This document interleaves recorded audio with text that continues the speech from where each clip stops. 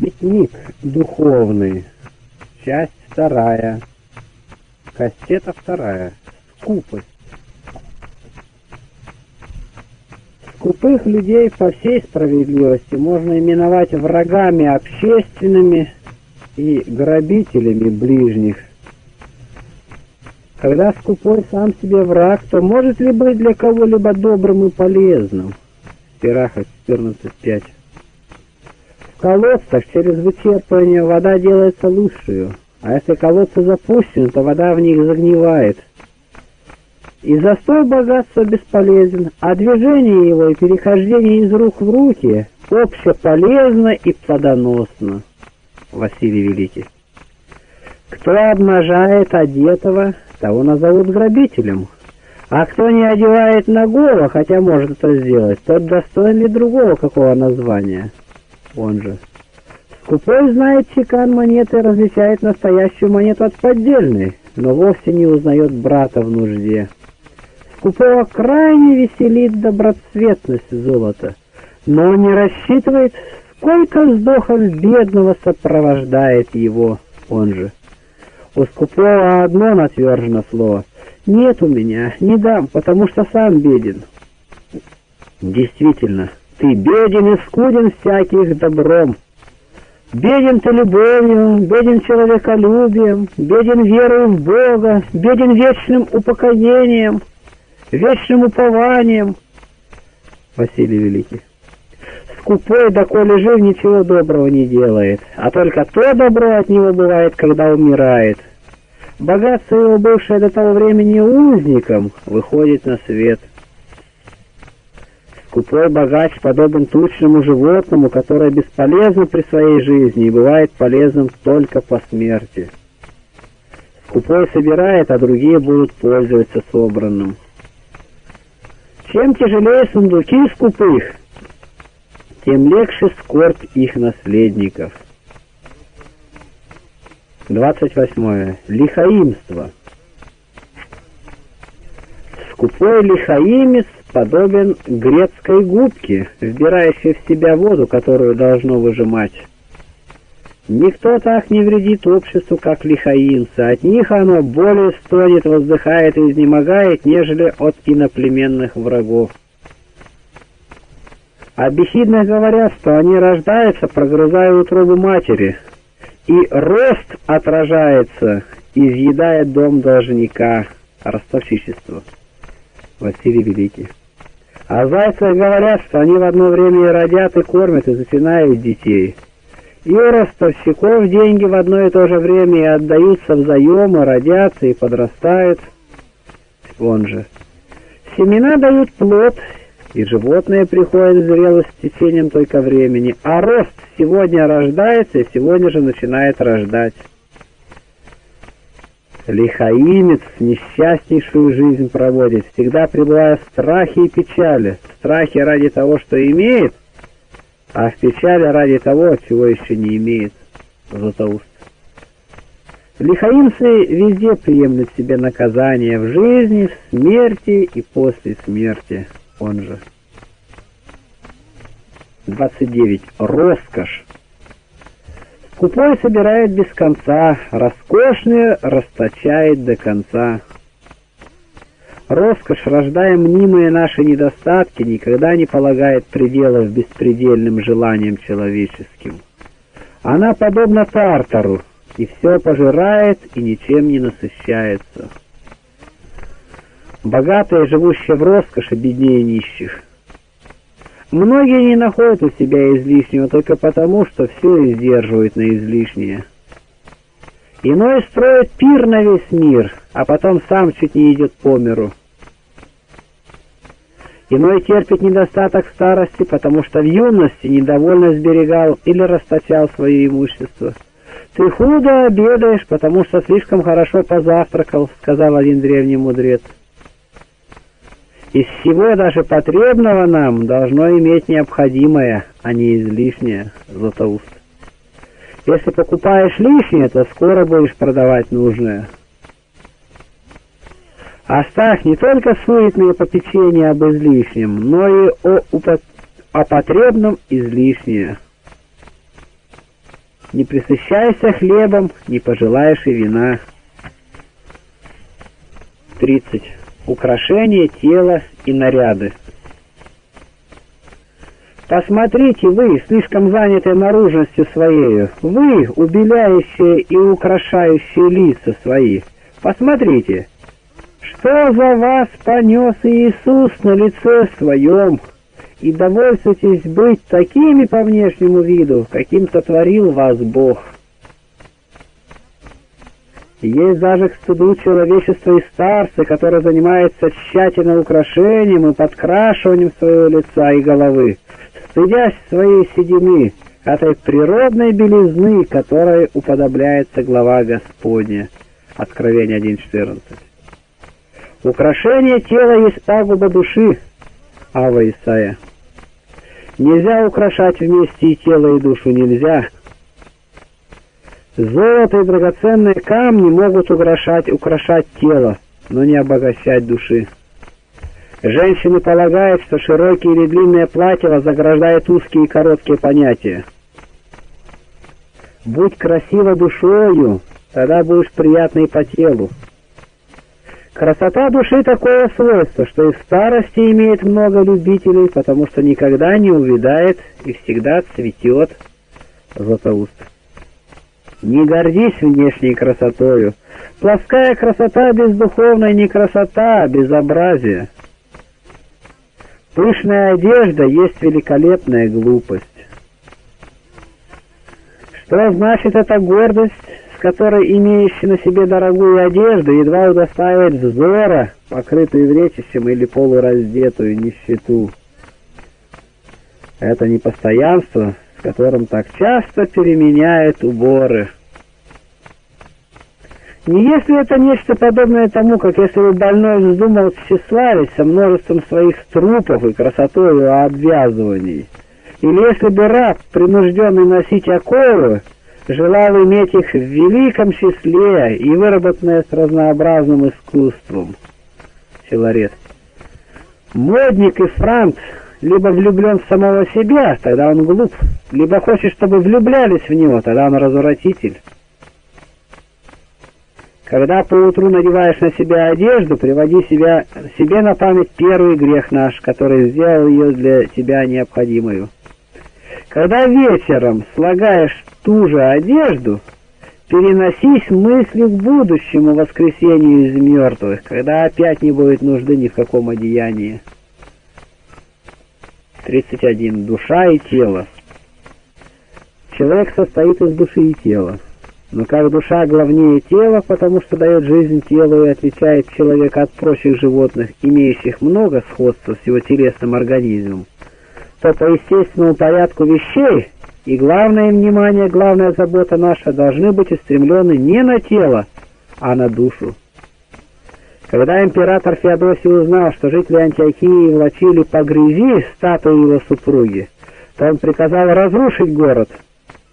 Что сделает Бог нам, если мы грехом оскверняем душу, его образ и храм? Хотите ли знать цену вашей души? Посмотрите на цену искупления. Не золото целого мира, не мир весь со всем, что в нем есть, но сам Бог был ценой нашего выкупа. Златоуст. О душе, как главной части человеческого существа, по достоинству драгоценнейшей целого мира, должно заботиться более, чем о всем прочем, более, чем о теле, или, по крайней мере, так же, как о теле. Но не наоборот ли бывает большей частью? Не о теле ли своем главным образом заботятся люди? Немного ли таких, которые о душе своей не думают вовсе, как бы ее не существовало? Один святой муж при виде прекрасной роскошно одетой женщины горько заплакал и сказал, «Она сделала для украшения своего смертного тела гораздо более, чем я для моей бессмертной души». Малое дитя между нами смыслит, что значит сделать обнову для тела. Но часто и седовласый старец не разумеет, как обновить душу или сделать для нее обнову. Я желал бы быть лучше лошадью и всякой другой вещью, большей части христиан, чем их душою. потому что они оказывают более заботливости, любви и привязанности ко всякой другой вещи, чем к своей душе. Блаженный Августин. У отца два сына голодных, остался один хлебец. Он был бы крайне несправедлив, если бы весь хлеб отдал одному сыну, а другого оставил бы голодным. И у вас душа и тело, и то, и другое ваше. Хотя бы душе и приличествовало дать предпочтение, как избранному сыну, так как она имеет род небесный. Но почему же вы не хотите уделить долю и ей, хотя бы равную с телом? Не великая ли это несправедливость? Не родя о душе, мы приготовляем такое разрушение и для тела. Также, кто пренебрегает частью самой ценной для того, чтобы возвысить менее ценную, тот наносит вред как той, так и другой части. Напротив, кто заботится надлежащим образом о душе, тот, сохраняя душу, сохранит и все тело. Златоуст. Ты, который столько заботишься о исцелении тела своего, когда заболит оно, почему не стараешься доставить ему блаженство по воскресении, заботливости и попечением о душе? Ава Исаия. Тогда ты будешь мудр, когда столько же будешь делать для души, сколько теперь делаешь для тела. Старайся о твоем теле, но не так, как бы оно было твоя душа. Бренное тело твое да будет покорно духу, а дух — предвечному своему виновнику. Если не поработишь тело душе, то оно поработит душу дьяволу. Как дело Божие правит миром, так и те дело души управлять телом. Авва Фаласий. Давай плоти то, что нужно ей, а не что хочет она получить. Нил Синайский. Не верь во всю жизнь твою всему бренному телу и не надейся на него, пока не предстанешь Христу. Ян Лестницкий. Плоть — друг неблагодарный. Когда угождаешь ей, тогда еще больше старается она вредить. Он же. Плоть — коварный друг. Чем кто более угождает ей, тем более она восстает на него. Ава и Тихий. Кто ласкает льва, тот часто укращает его, а кто угождает телу, тот усиливает его свирепость. Иоанн Веститель. Душа ни от чего так много не страдает, как от тела. Если ваш дух не будет воевать своей беспокойной соседкой плотью, не будет противиться ее непомерным требованиям, преодолевать ее искушения, то вам никогда не знать того блаженного мира, который так необходим для вашего счастья. Кто жалеет плоть, в том не может пребывать Дух Божий. По той мере, как тучнее тело, истощается душа, и напротив, по мере истощения тела укрепляется душа, а в адмию. Плоть, если крепнет, крепнет насчет духа, и дух, если зреет, то зреет не иначе, как насчет утончания плоти. Ни у одного святого не находим льготной жизни. Все жили сурово, в стеснении, искушении, озлоблении плоти. Пусть каждый испытает увидеть, что чем менее дают свободы телу, чем более источают его постом, тем более приходит в силу жизнь души, мысли становятся светлее, чувства и желания чище, молитва искреннее и живее, воздыхание о грехах чаще и полнее. Кто льстит себя надеждой достигать совершенства в духе без слового обхождения с телом? Тот походит на того, кто бы хотел носить воду решетом, или ловить ветер руками, или писать слова на воде. Весьма опасен необузанный конь для ездака, так и душе твоей опасна плоть, когда она не обуздана разумом и воздержанием. Дмитрий Ростовский. 32. Здоровье и болезнь. Здоровье есть драгоценный дар Божий. Без здоровья богатство почти тоже для человека, что жертва для истукана или хорошо устроенная дорога для безногого. Береги здоровье, храни себя от разврата, от небрежности, опрометчивости. Не береги здоровья, не щади самой жизни, когда это требует от тебя Бог, Отечество и твое вечное спасение. Важно здравие телесное, но гораздо важнее здравие душевное, и тем важнее, чем душа превосходнее тела. Златоуст. Что пользу тело здоровое иметь, но душу расслабленную и немощную? Тихон Задонский.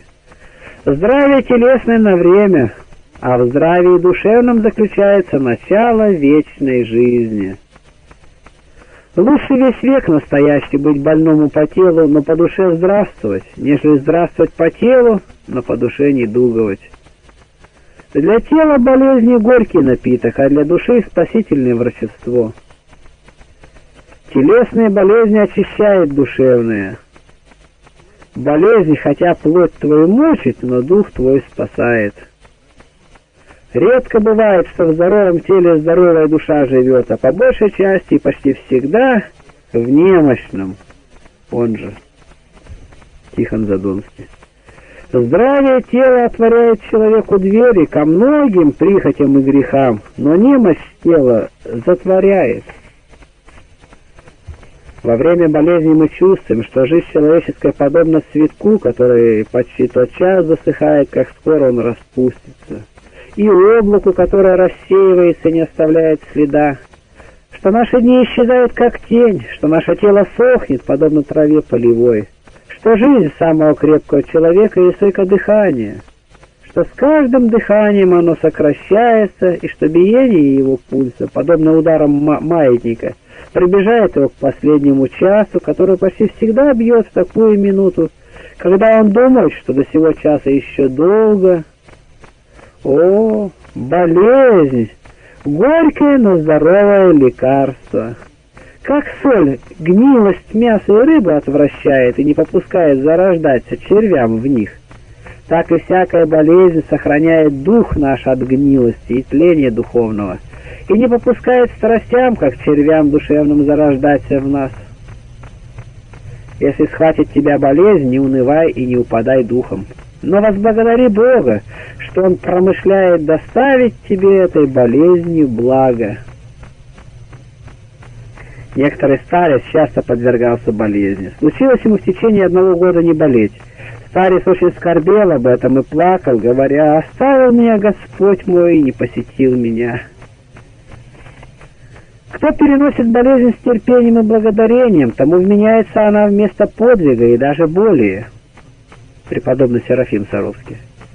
Кто терпит болезни и благодарит, тот мученический венец получает. Златоуст. В болезнях тела нужно прежде всего заботиться об исцелении души, протеерей Толмачев. Из урока извлеченного расслабленному «Вот ты здрав, Смотри, не греши более, чтобы не сделать с тобой чего хуже. Познаем, что виною болезни наших суть грехи, и то, следовательно, первейшее врачество против них всегда суть не столько капли, предписанные врачами, сколько те, кои текут из очери, от сердца сокрушенного и смиренного. Иннокентий, архиепископ Херсонский. В болезнях прежде врачей и лекарств пользуйся молитвою, Нил Синайский. Часто не руки врачей, но одна вера восстанавливает болящего. Если бы врач свой стал хвалиться твоим исцелением, как собственным делом, ты сочти своим долгом напомнить ему о владыке жизни и смерти. Во время болезни всякий должен думать и говорить, кто знает, может быть, в моем недуге отворяются мне врата к вечности. Выздоравливающий после болезни, в особенности серьезной и опасной, должен чувствовать и говорить. Свыше дарована мне отсрочка, да пока я и жизнь свою исправлю по заповедям Христовым. 33. Пост и воздержание. Заповедь о посте имеет такую же древность, как и самый мир.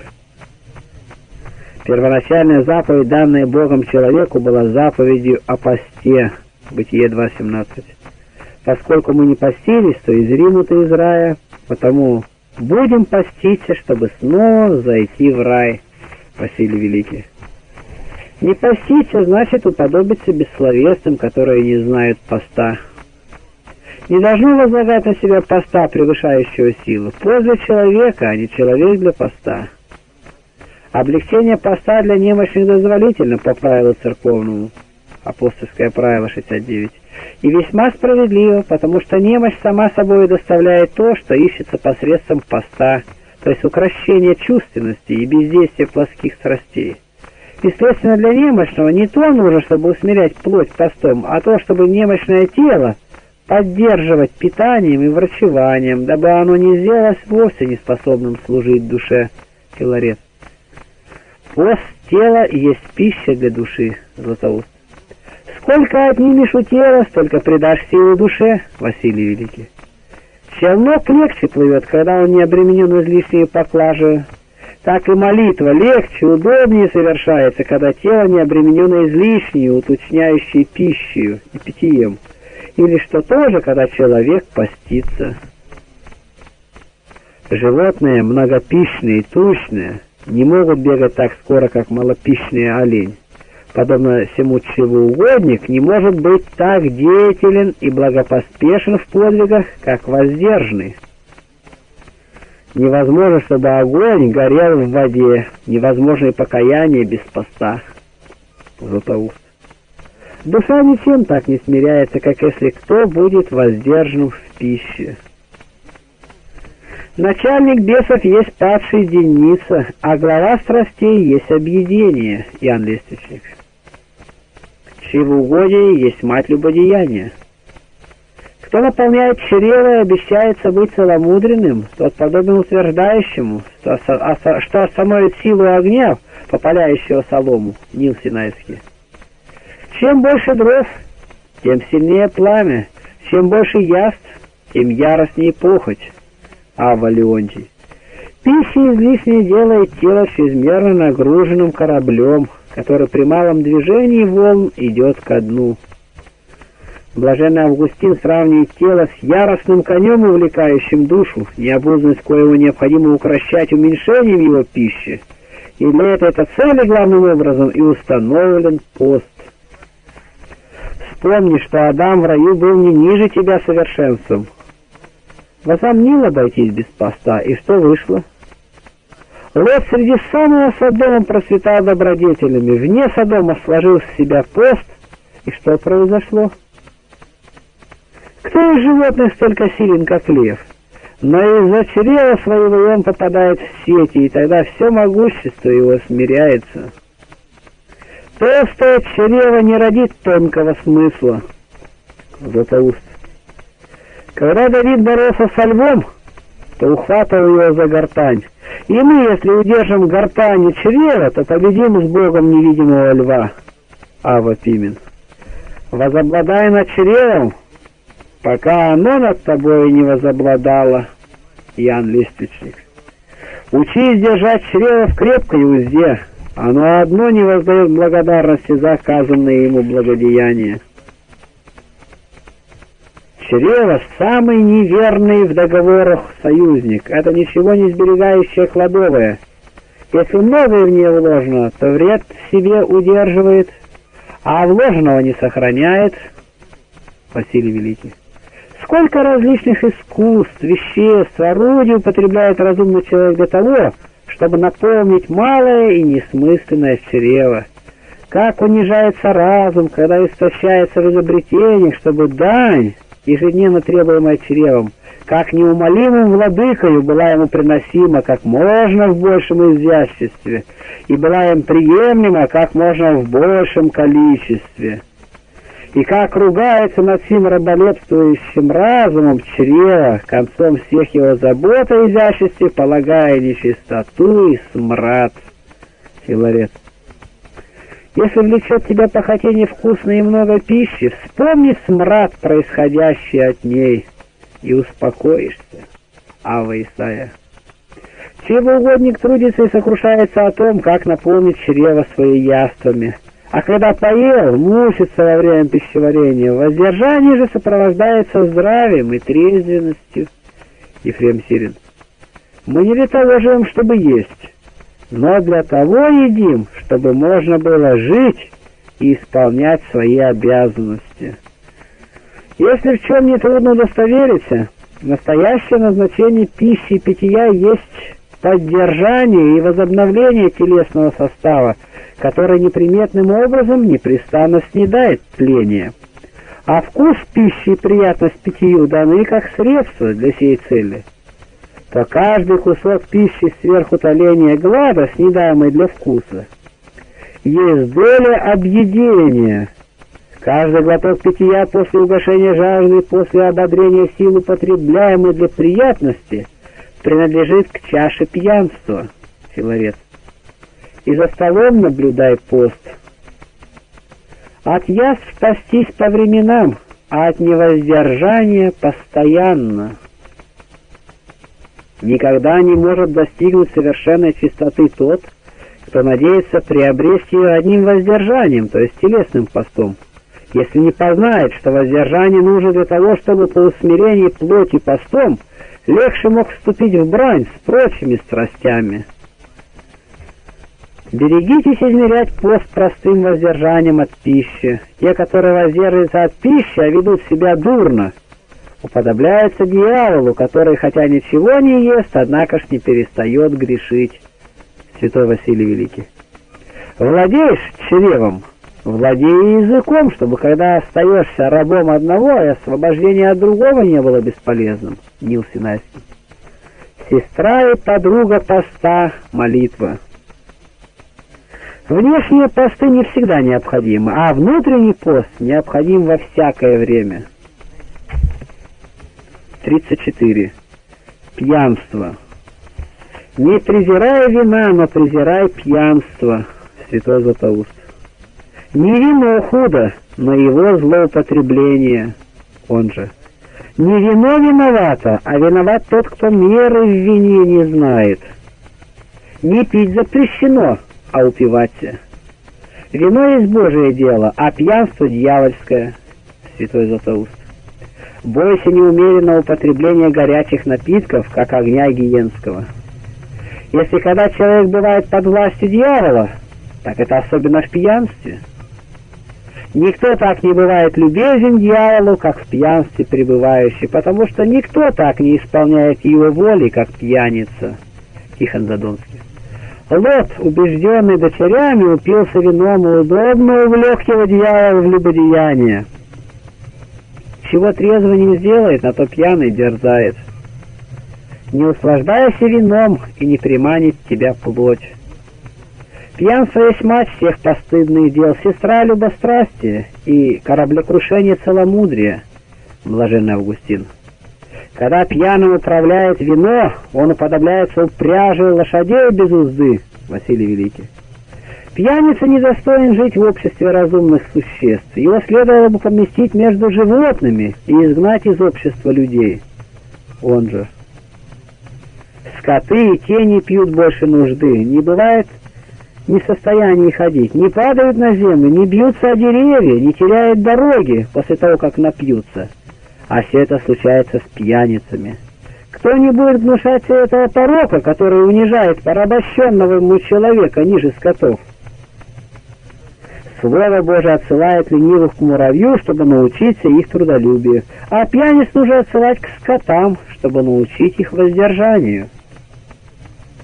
Когда церковь увещевает грешников, она указывает им на примеры Иисуса Христа и святых, а когда дело идет о человеке невоздержанном, то нужно предлагать ему пример скотов. Какой позор! Упившиеся, что иное, как неязыческие идолы, ибо имеет очи, но не видит, уши имеет, но не слышит. Василий Великий. Пьяный, смотря во все глаза, не видит и того, что у него под ногами. Дым гонит прочь пчел, а неумеренное винопитие отгоняет духовное дарование. Василий Великий. Пьяница ни к чему не годен, кроме ада. Пьяного человека и в дом порядочно не пускает, не только что в Царство Небесное. Не употребляй без меры не только вина, но, если можно, и воды. 35. Употребление дара слова. Язык есть самый благодетельный и самый вредный орган у человека.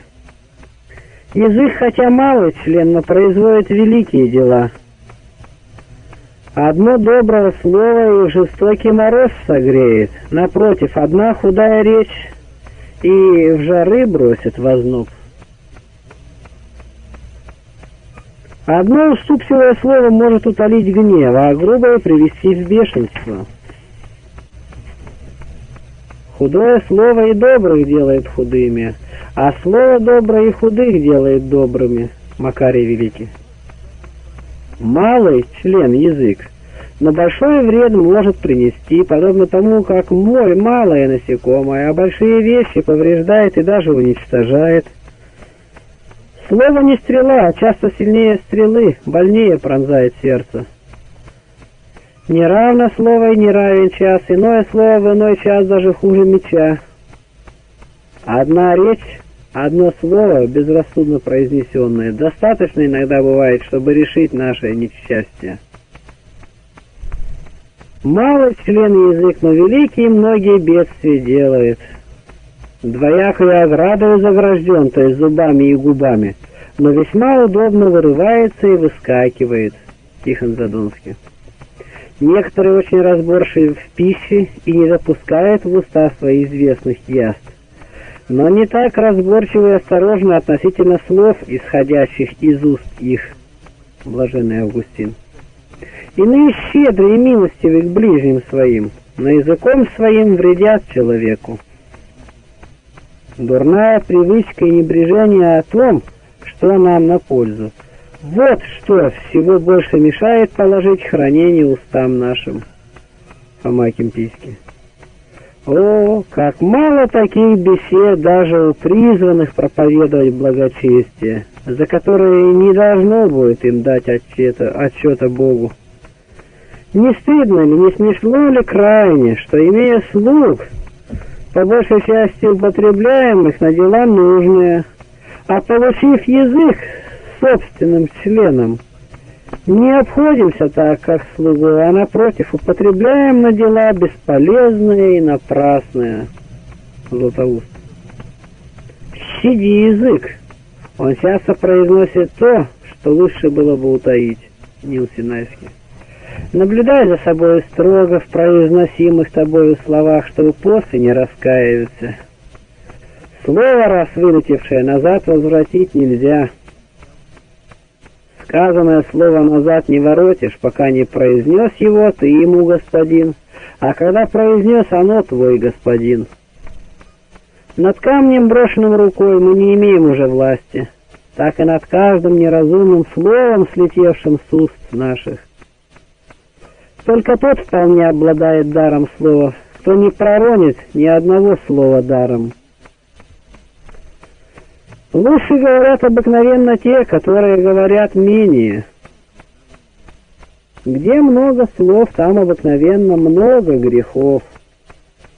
Более слушай, нежели говори. В много глаголаний не спасешься от греха. Много не говори, Мудрые много не говорят. Говоря много, нельзя не согрешить. Надо стараться, чтобы говорить немного и вовремя, именно тогда, когда видим, что молчание бесполезно. Впрочем, и тогда не говори, чего не знаешь. Лучше учиться, нежели не зная учить, Григорий Богослов. Немедли слушать добрые советы и полезные наставления – но не спеши сам давать советы и наставления. Будь скор для слушания и медленно гнев. Серахов 5.13 Чтобы показать, что мы охотнее должны принимать наставления, нежели поспешно отвечать, природа дала нам два уха и только один язык, Плутарх. Не говори всего, что знаешь, но непременно знай все, что говоришь. Не тот мудр, кто много говорит, но тот, кто знает время, когда должно говорить. С разумом молчи, с разумом и говори. Если прилично говорить и пришло время слову, говори, что служит к назиданию. Фома Кемпийский. Не говори много, хотя бы ты мог говорить все хорошее. Ни в каком случае не расточай безрассудно слова. Словесная тварь слова творческого. По крайней мере, христианин не скор, будь на слово. Давай себе размыслить, во благо ли тебе и другим будет слово, которое ты рождаешь в мир, и которое, как бы ни казалось малым и ничтожным, будет жить до последнего суда и предстанет на нем во свидетельство или о тебе, или против тебя. Филарет. Прежде нежели начнешь говорить, подумай, и тогда говори или отвечай должное. Когда умный человек хочет что-либо сказать, то сперва подумает и размыслит сам себе, и потом уже говорит. Глупый, напротив, сперва говорит, а потом уже думает, что он сказал. Тот, кто говорит не подумав, подобен тому, кто стреляет не прицелясь.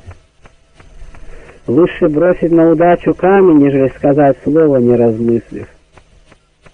Размысли и потом скажи, чтобы не сказать чего бесполезного, вредного или, по крайней мере, не кстати. И не кстати говорить стыдно.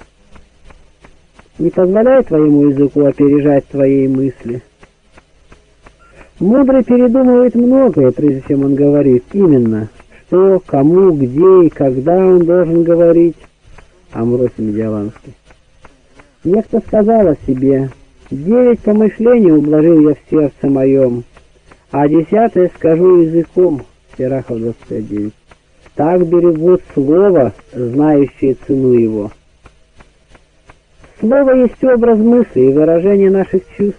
Следовательно, из слов легко может познаваться внутреннее душевное состояние человека говорящего. Известно, что врачи узнают здоровье или болезнь кого-нибудь, смотря на язык. Можно сказать, что и наши слова служат верным признаком добрых или худых расположений нашей души. От слов своих оправдаешься, от слов своих осудишься. «Каков человек, такова его и речь», — сказал Сократ. И когда ему представили юноше, чтобы он дал свое суждение о нем, то он сперва вступил с ним в разговор. Воздержание языка означает человека мудрого — Святые люди говорят обыкновенно о святых предметах. Ослабляющий узду языка показывает, что он далек от добродетели. Безрассудный болтун, как барабан, гремит из всех сил, а внутри пуст. Слова неразумного человека — шумный плеск моря, которое бьет в берега, но не напаяет береговых растений. Григорий Богослов. Не отверзай уст твоих для смеха. Это признак рассеянной и нерадивой души, чуждой страха Божия. Бойся празднословия, как боишься хищных зверей и птиц. Оно, подобно им, уничтожает труды святой жизни. Сад без ограды будет потоптан и опустошен, и кто не хранит уст своих, тот погубит плоды добродетели. Ефрем Терин. Облака закрывают солнце, а много глаголания потемняет душу, которая начала просвещаться молитвенным созерцанием. Исаак Сирин. Будем избегать вольности в речах, чтобы зной их не сожег плоды трудов наших. Как пчелы не терпят дыма, так и ангелов, хранителей, празднословцы и кощунники отгоняют от себя. Равно худое и негодная жизнь, и негодное слово — если имеешь одно, будешь иметь и другое. Григорий Богослов. Говорите хорошим надлежит и тому, кто не делает хорошего, чтобы, устыдясь слов, начать и дела. Нил Синайский. Привычка к худым беседам есть путь к худым делам. Гляди, человек, возьми власть над языком своим и не умножай слов, чтобы не умножить грехов. Антоний Великий. Будь внимателен к себе до того, чтобы ни одного праздного слова из уст твоих никогда не выходило, и за одно праздное слово суд будет. Лучше стократ пасть ногами, нежели языком. Предпочитай молчание, потому что удерживает оно от многого вреда. Исаак Сирин. Если человек будет помнить изречение Священного Писания, от слов своих оправдаешься и от слов своих осудишься, то решится лучше молчать. Легче совсем молчать, нежели не сказать лишнего. Помахим письки. Я видел многих, впадавших в согрешение через свои слова, но почти никого через молчание. Амвросий Медиаланский. Нередко раскаиваемся мы о том, что много говорили, и никогда о том, что много молчали. Ава Арсений сказывал про себя. После бесед я часто раскаивался, а после молчания никогда. Люби более молчать, нежели говорить, ибо молчание собирает, а многословие расточает. Один подвесик сказал о себе. Каждый раз, как разговаривал я с другими, находил себя, себя худшим, чем был наедине. Как вода, заключенная со сторон устремляется вверх, а представляемое собой себе разливается во все стороны и устремляется в места низменные, так и душа, огражденная благоразумным молчанием, собирается самой себе и стремится к горе, тогда как, предаваясь многословию, она, так сказать, разливается по внешним дальним предметам. Другой из слов. Хорошо благовременное молчание, оно не что иное есть, как мать мудрейших мыслей. Язык недостаточен к изложению тех благ, которые рождаются от молчания. Если будешь соблюдать молчание, то найдешь покой везде, где бы ты ни жил. В какое бы затруднительное положение ты ни пришел, победа в нем молчание. Безмолвие сначала ощущение души, Василий Великий. Брат спросил Аву Сисоя, намереваясь хранить мое сердце. Старец отвечал ему, «Как возможно охранять наше сердце, когда язык наш подобен отверстым дверям?» Чтобы научиться хорошо и непогрешительно говорить, прежде надо выучиться молчать. Кто не умеет молчать, тот не умеет говорить. Надо, чтобы весьма назидательно было то слово, ради которого можно оставить молчание. Только духовная беседа полезна, а предпочтительнее всего прочего молчание. Добрая речь и то только добрая, подобно серебру, а молчание есть чистое золото. Добро чаще беседовать с Богом друг от друга, а между собой, смотря по надобности и удобности.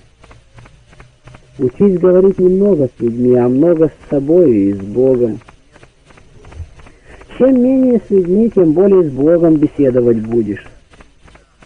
Прежде нежели пойдешь в какое-либо общество, молись Господу, чтобы Он положил хранение устам твоим. И в продолжении твоей беседы помышляй, что Бог везде присущ и слышит тебя. От времени до времени беседуй с Ним в своем сердце. Чем пустые речи говорить, лучше краткие молитвы творить как можно чаще. Да будут разговоры наши таковы, чтобы не отвечать нам за них муками в вечности. Когда кончился разговор, то потребую у себя самого отчет в содержании его, дабы возблагодарить Бога, если ты в разговоре был таков, каков должен быть, или исправить погрешности тобой сделанные. Рассуждение выше всего, терпение нужнее всего, молчание лучше всего, многоречие хуже всего. Если понуждаешь себя к молчанию, то не думай, что совершаешь добродетель, но признавай себя недостойным говорить. Не думай много о своем молчании, не превозносись им, но испытывай свои помыслы. И среди молчания можно тяжко согрешить. Иной человек, кажется, молчит, но в сердце своем осуждает других. Такой непрестанно говорит — а другой с утра до вечера говорит и между тем соблюдает молчание, потому что он ничего без пользы не говорит. Ава Пимен. 36. Истина и ложь. Мы должны смотреть на мир как на великое позорище, где добро со злом, где истина с заблуждением ведет кровавую брань, терпение и надежда. Все неправедное, все ложное гибнет, рано или поздно гибнет. Одна истина не страшится времени, одна истина пребывает вовеки. Истина, когда за нее умирает, бывает особенно животворна. Истина, как и свет, неизменна. Свойство истины таково, что силы ее не могут не ощущать, и не озаренные светом истины, подобно тому, как слепые, не видя солнца, чувствуют влияние на них лучей солнечных. Истина подобна невкусному, но здоровому лекарству, которое пить неприятно, но когда бывает принято, делает исцеление. Только на истине и правде основать можно спокойствие себе и другим. Путем истины стремитесь к истинной жизни. Кто не любит истины, тот еще не познал ее. Прямой друг истины и добра любит их во всех видах, но особенно под формой простоты. Хорошим умам свойственно в рассуждениях других любить истину, а не слова, блаженный Августин. Мир поступает безрассудно, измеряя и оценивая силу и достоинство слов внешними преимуществами учителя. Он забывает, что в ничтожной, по-видимому, раковине образуется жемчужина, и в глиняном сосуде хранится иногда драгоценная мира. Не только верить должно истине, но и говорить истину. Умалчивать истину значит золото зарывать в землю. «Учись, не стыдясь, учи, не скупясь», — просили великий.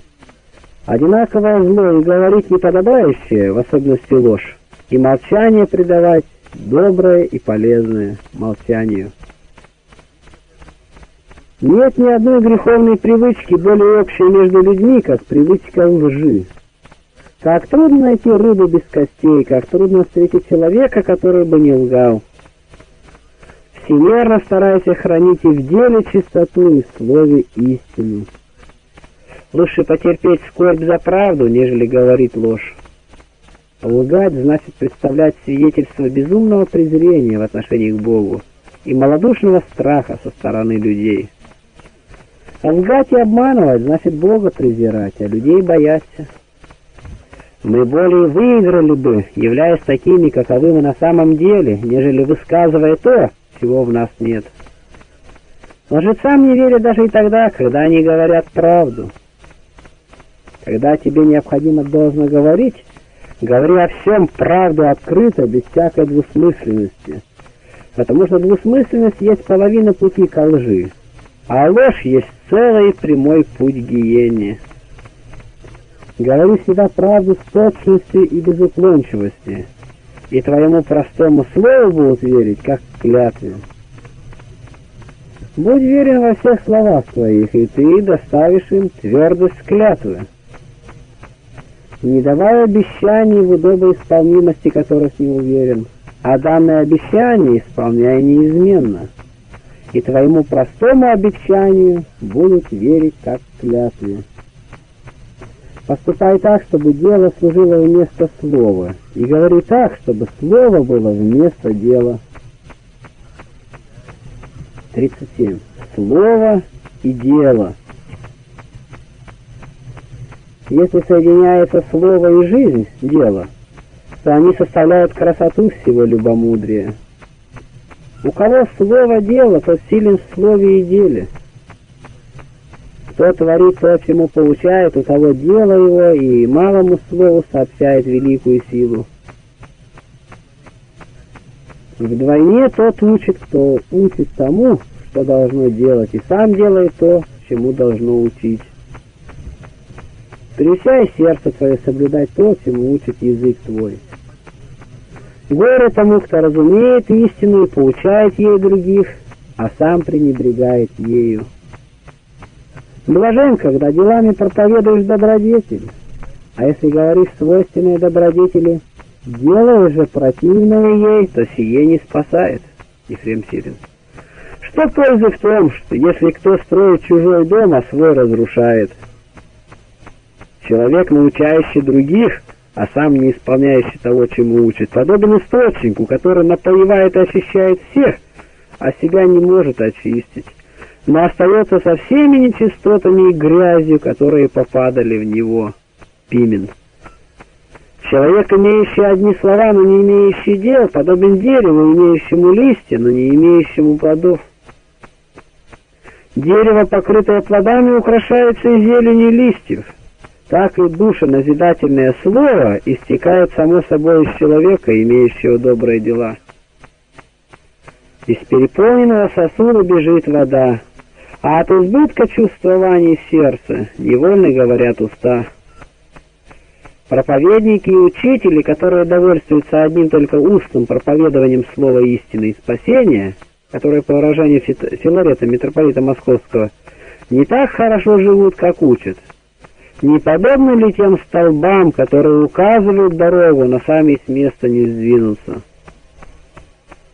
Не будь столб на пути стоящий, который указывает путь городу, но сам с места не движется, но будь вождь, который и прочим указывает путь, и сам наперед идет. Тихон Задонский. Как будем наставлять других, если не ревнуем о наставлении самих себя? Кто собой не управит, тот и другого на разум не наставит. Впадающий в грех не может научать тому, как не впадать в него. Тот тщетно учит, чьи дела противны учению. Наставление никогда не будет действительно, если наставник не вкоренит его в сердце, наставляемого собственным примером своим. Слова без дел подобны картинам, писанным ленючими красками. От ветра и дождя они стираются. Слова ничего не значат, когда они не подкрепляются и не оправдываются делами. Всякое слово, не опирающееся на делах, не идет далее ушей. Но когда оно соединяется с делом, оно оживляет, проникает до сердца. Учи другого со смирением, чтобы он делал добро и тогда, когда почитает тебя самого несовершенным. Верующие должны мало говорить, но много делать. Лучше больше творить и менее говорить. А в нас бывает наоборот. Мы больше говорим, чем творим.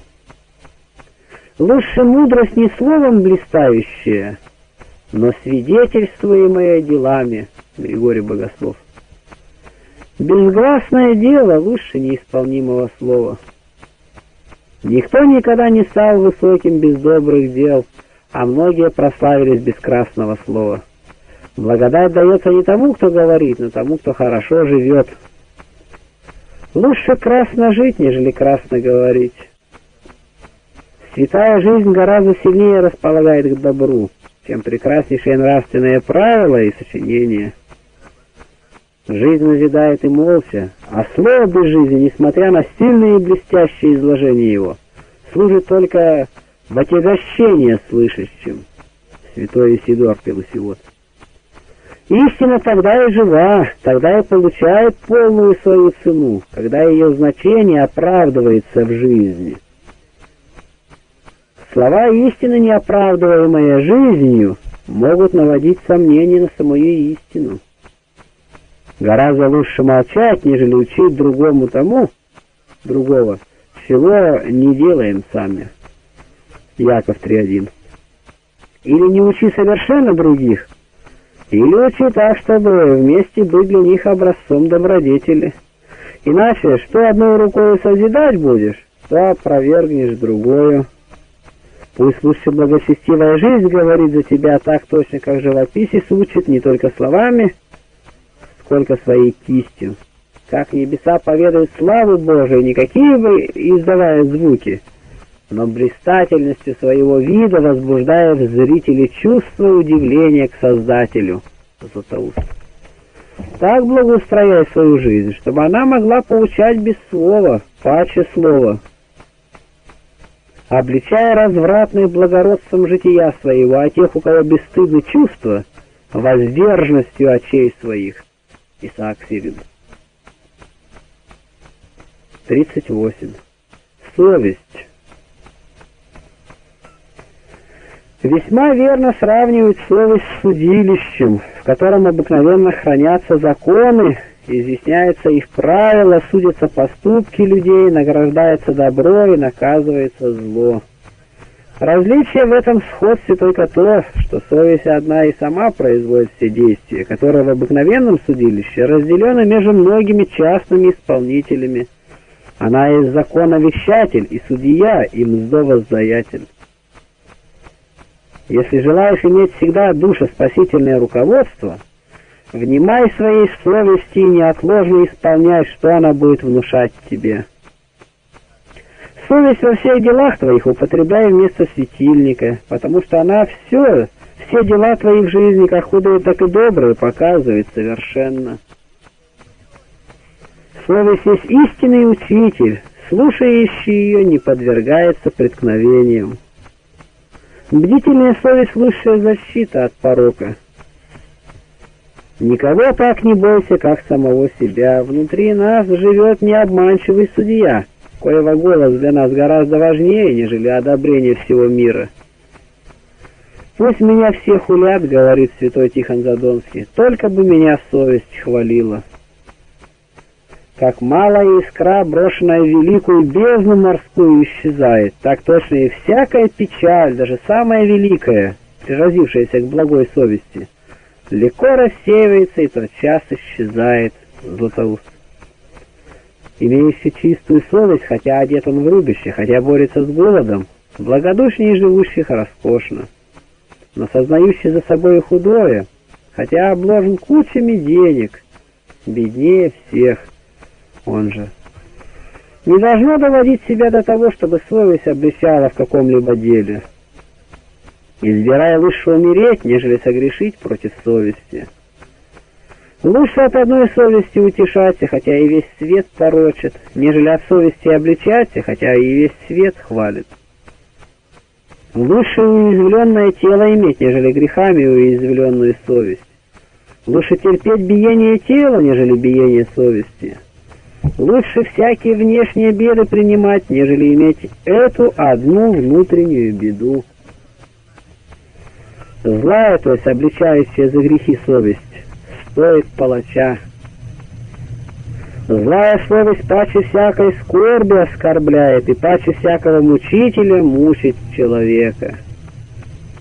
Нет злейшего мучителя, как совесть злая. Совесть истинное домашнее судилище. Преступник может избежать иногда суда человеческого, но он никогда не избежит суда своей совести. Григорий Богослов. Три есть суда. Суд мира, суд твой собственный, совесть и суд Божий. Как не можешь избежать суда Божия, так не избежишь и своего, хотя когда-нибудь и избежишь суда мирского. Только тех не судит совесть, которые достигли верха добродетели или, или порока, ава фаласии.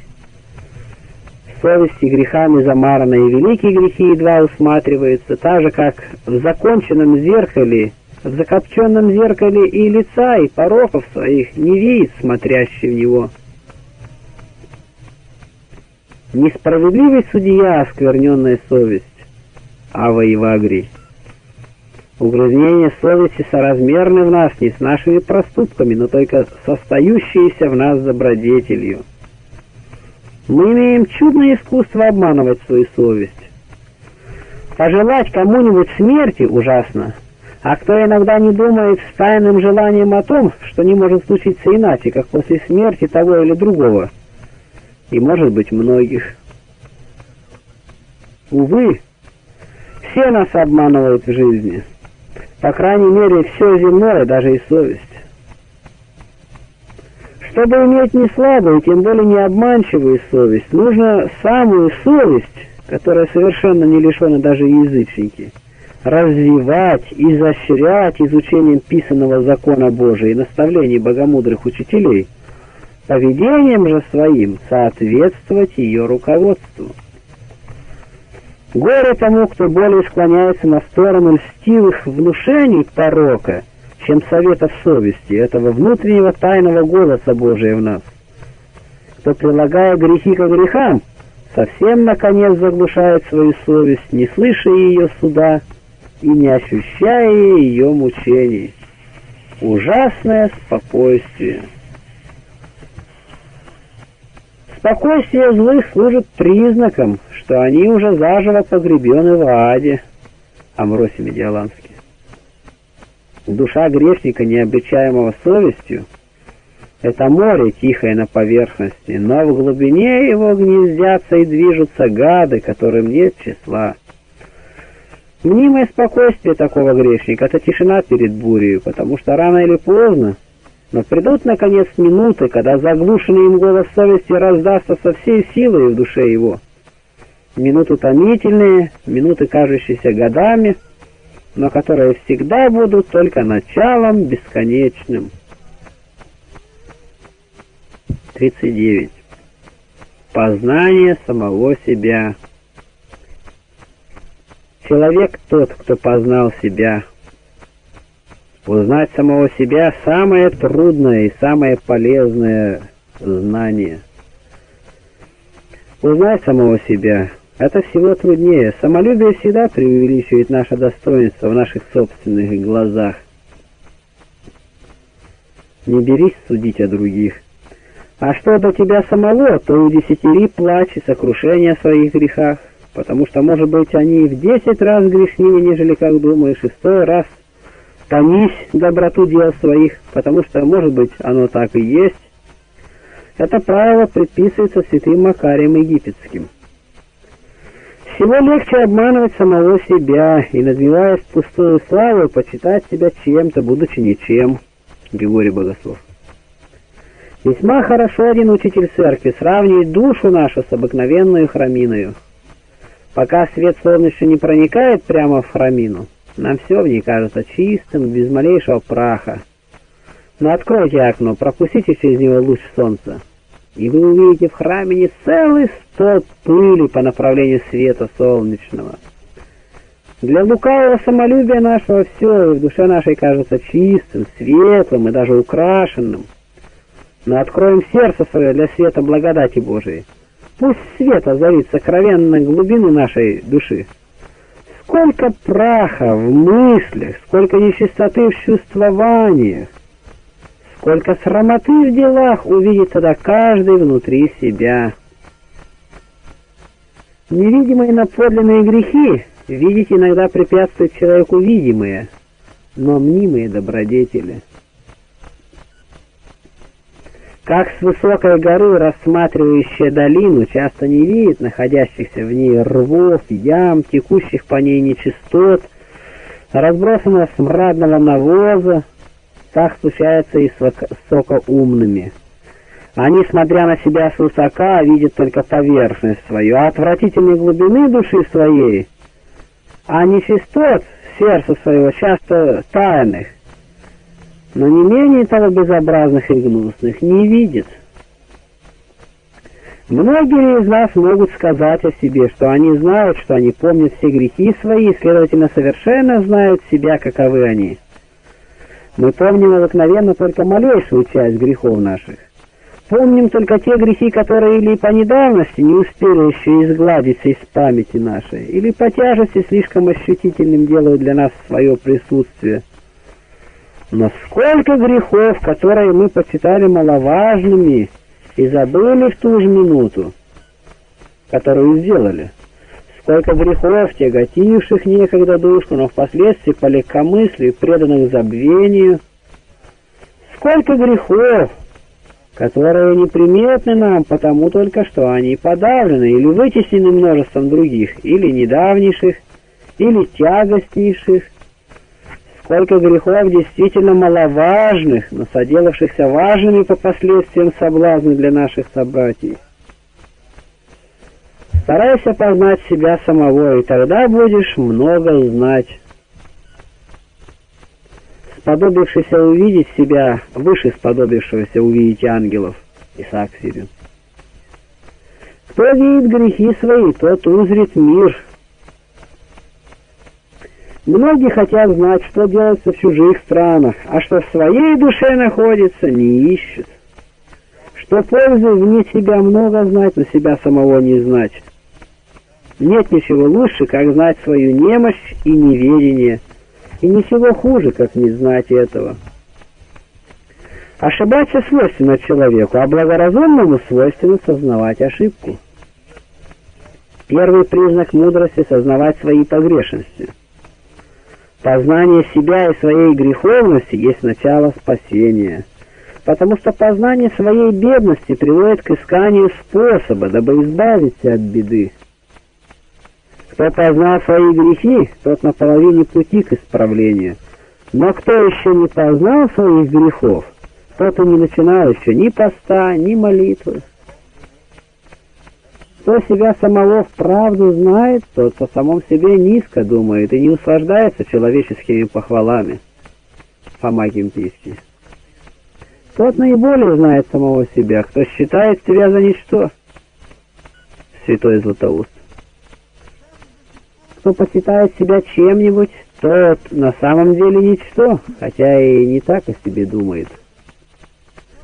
Чем менее считают себя грешными, тем бывает грешнее. Ты хочешь знать, сколько лучшим ты сделался? Испытай себя, сколько худшим ты чувствуешь себя. Чем светлее твой взор, тем яснее ты видишь славу Божию, свою греховность. Григорий Богослов. Хочешь ли познать Бога? Познай прежде самого себя. Чем кто невнимательней к себе, тем более почитает себя угодным Богу. Но кто старается очистить себя от страстей и беспорядочных действий, тот стыдится возвести очи свои на небо к Богу, ибо видит себя, что весьма далеко отстоит от Него. Познание себя устанавливает верный взгляд не только на себя, но и на близких, и определяет, как должно наше действие не только в отношении себя и ближних, но и к Богу. Если хочешь быть добрым, прежде убедись, что ты зол. Будем беспристрастны к самим себе, чтобы справедливее поступать с другими. Чтобы лучше и вернее узнать и изучить себя, для этого нужно чаще с самим собой беседовать, следить постоянно не только за своими словами и действиями, но и за мыслями, чувствованиями и желаниями, как корнем, основанием и причиной всех наших слов и поступков.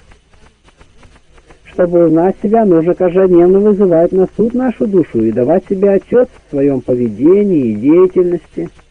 Это делали даже и лучшие из языческих мудрецов, например, Катон.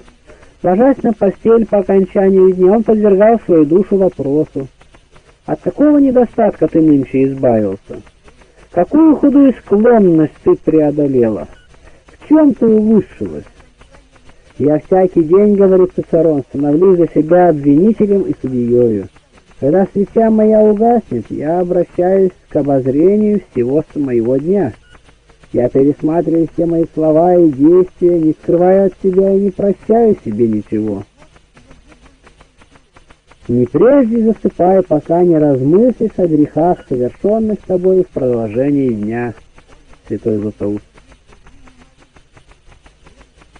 40. Победа над самим собою.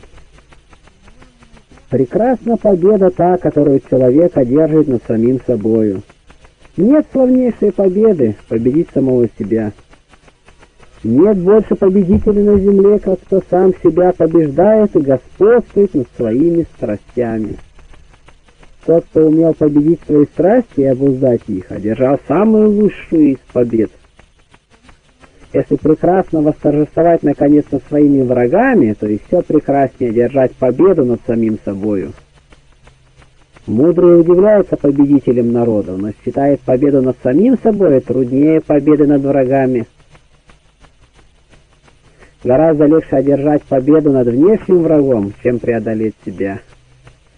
Нет большего врага человеку, как он сам себе. Человек никого так не должен бояться, как самого себя. Часто те, которые гонения сильнейших мучителей не колебали в вере, сокрушались от самих себя. После побед над внешними врагами они были побеждаемы от собственных врагов, своих порочных слабостей и страстей. Многие повелевали городами и народами, но весьма немногие самими собою. Если себя самого победишь совершенно, остальное легко будет покорить себе. Над собой самим восторжествовать — вот совершенная победа. Фома Кемпийский. Кто самого себя держит в подчинении, так что чувственность его повинуется разуму, а разум Богу во всем повинуется, тот истинный победитель над собой и властитель миру, он же.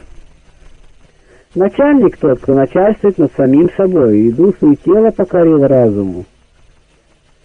Благо тому, кто успел достигнуть самообладания, власти над собой. Он поистине царь, хотя и по внешнему положению был рабом. Кто властвует над своими чувствами, тот в мире проводит жизнь. Не между людьми только должно искать союза мира, но и в теле своем, и в духе своем, и в душе своей вместе. Кто в мире и любви умеет жить самим собой, тот найдет радость и любовь во всех странах. Сделавший глупость, глупость, мы ссоримся с самими собою. Не лучше ли будет, не делая глупости, не верить страстям нашим, ссориться с умом, который удерживал нас от глупого поступка? Не наследуй себе Царство Небесного, если не сделаешься царем над своими похотями и помышлениями. 41. Свобода и рабство. Бог дал нам свободный произвол, чтобы мы были вместе и господственными, и ответственными в своих действиях.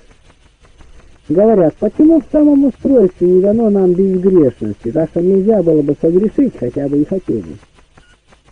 Потому же, почему и ты никогда признаешь служителей исправными, когда держишь их связанными, но когда видишь, что добровольно выполняют перед тобой свои обязанности? Василий Великий. Будучи создан свободным и призван к свободе, не допуская себя раболепствовать нечистым страстям.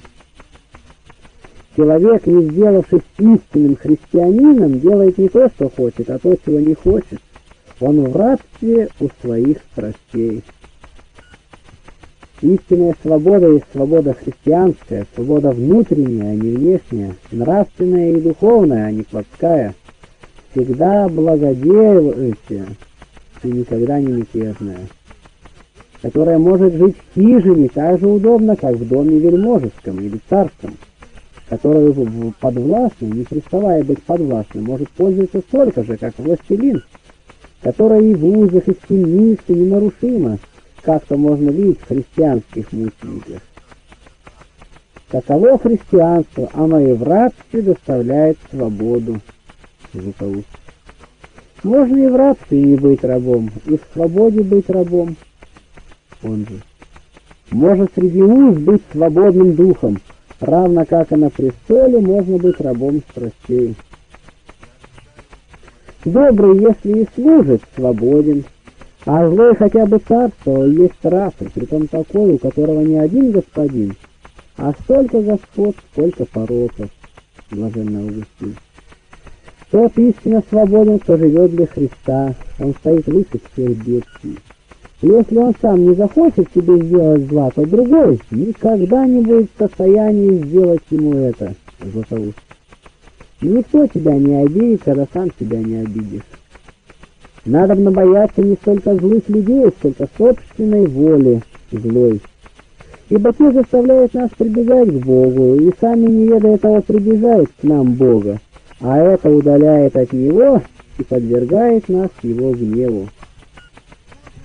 За Христом и в тюрьме свобода, а без Христа и на свободе тюрьма. Воля наша есть медная стена между человеком и Богом. Свободнее всех тот, кто ничего не желает на земле. Сама Кимпич. Тем менее желаний, тем менее оков. Можно и должно умерять свои желания, но удовлетворить им не в состоянии никакой владелец государства. Наше желание то же, что маленькие дети, которые всегда беспокойны и беспрестанно просят у матери то того, то другого – и никогда не довольны ничем. Тем более им уступает, тем более они делаются докучливыми. Воля каждого из нас учит и мучит. Как часто, достигнув исполнения своего желания, человек с засадой спрашивает только-то, хотеть лишнего или не хотеть должного, равно предосудительно. Не тот свободен, кто может делать, что хочет, но тот свободен, кто может хотеть того, что должно ему делать. Как человек, побуждаемый голодом, истребляет пищу охотно, жаждущий пьет охотно, утомленный трудами, отдыхает охотно. Так бывает и в духовной жизни возрожденного человека. Служащий Господу служит ему охотно, и воля его составляет их желание, как говорит сам Иисус Христос. «Пища моя есть творить волю пославшего меня». Иоанна 4.34. Истинная свобода находится только в пределах закона, а высочайшая свобода состоит во всецелой преданности Богу. Рабством должна быть названа необузданность, и постыднейшим рабством то, когда человек попирает ногами предписанный божественный закон. 42. Ежедневное провождение времени. По заповеди Божией уделяй один день седмицы для всецелого служения Богу. В остальные же дни старайся, хотя известные часы, уделять от своих трудов и занятий и посвящать их молитвенной беседе с Богом, преимущественно и непременно утром по восстании от сна и вечером перед сном. Когда утром пробуждаешься от сна, помысли, что Бог дает тебе день, который ты сам себе не мог бы дать, и отдели первый час или хотя первую четверть часа даруемого тебе дня и принеси ее в жертву Богу в благодарной и благопросительной молитве. Чем усерднее ты это сделаешь, тем более осветишь свой день, тем крепче оградишь себя от искушений, каждый день встречающихся. Подобно всему, когда отходишь ко сну, помысли, что Бог дает тебе покой от трудов, и отыми начаток от времени твоего покоя, посвяти его Богу чистой и смиренную молитвою. Ее благоухание приблизит к тебе ангелов для охранения твоего. Утренняя молитва для человека тоже, что утренняя роса для растений. Тот во весь день бывает счастливее и покойнее, кто с надлежащим вниманием молится утром. Ум на что направится с утра, тем занимается весь день, как жерновный камень, мелящий в продолжении всего дня то, что всыплет в него с утра. Будет это пшеница, будет это плевело. Постараемся всегда с утра влагать пшеницу, чтобы враг не всыпал плевелов. Проводи начинающийся день так, чтобы он мог вести тебя ко дню не вечернему, а не к ночи вечной. В продолжении дня занимайся с усердием теми делами, какие ты должен делать по своему званию и положению в обществе. Старайся среди самых занятий находить хотя минуту, чтобы обращаться благоговейно мыслью и молитвой к тому, кто благословляет честный труд и дает успех доброму делу. Труд и молитва, молитва и труд — вот самое должное и самое лучшее пользование даваемым нам ежедневно от Бога временем. Молись и трудись. Вот золотое правило, обнимающее всю мудрость земной жизни. Кому из нас не случалось видеть и слышать, как голосистый жаворонок вьется весной над полем или вспаханной нивою, и своим приятным пением часто услаждает тяжкий труд земледельца? Но не вся жизнь этого маленького пернатого проходит в пении, не все время носится он в воздушном пространстве. Нет, у него есть свой труд и забота. Он спускается на землю, и здесь то добывает себе пищу, то устраивает теплое гнездышко, то заботится о своей подруге или молодых птенцах своих. И опять, не все же рыться в земле, не все же хлопотать и трудиться. Птичка снова несется к небу и поет, поет свою нескончаемую песню. Вот урок и пример для тебя, человек. Трудись, где бы ты ни был поставлен в обществе, низко ли, высоко ли, трудись. Это твое назначение и обязанность на земле. Но ты не для земли создан, а для неба. После труда и забот житейских возносись горе умом и сердцем, изливай перед Богом свою душу в славословии, благодарении и молитве. Молись, это твой долг, твоя слава, твое блаженство. От трудов переходи к молитве, от молитвы к трудам. Трудись и молись. С Богом начинай, с Богом и оканчивай день.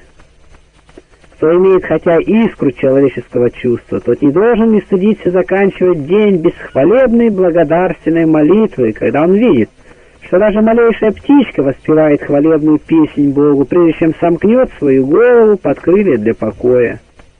Амбросий Медиаланский. Когда отходишь ко сну, вспомни о смерти, которой сон есть образ и преддверие. Представляя постель как бы гробом твоим и одеяло как бы саваном. Если во время ночи проснешься, то вспомни о Боге и помолись.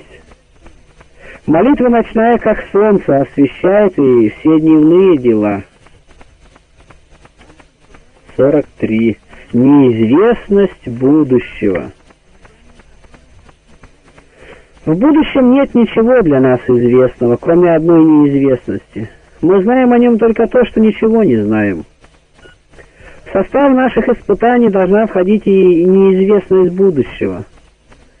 Господь хочет этим показать, что мы не можем сами себя сохранить, не можем сами себя сберечь. Дитя, проходя лесом, держится за руку отца своего. Оно не знает, когда и где ему попадутся пни и камни, через которые нужно ему перебирать, ямы и рвы, в которые оно может упасть, змеи и другие ядовитые животные, которые могут ужалить его. Не знает, но идет, потому что рука отца его поддерживает и ведет его, предохраняя его от зла. Если проведению угодно, чтобы мы не знали своего будущего, для нашего же, без сомнения, блага и пользы, то не дерзко ли с нашей стороны прибегать к гаданию и ворожбе, чтобы узнать имеющее с нами случиться впереди? Не тяжкое ли это оскорбление от нас Богу?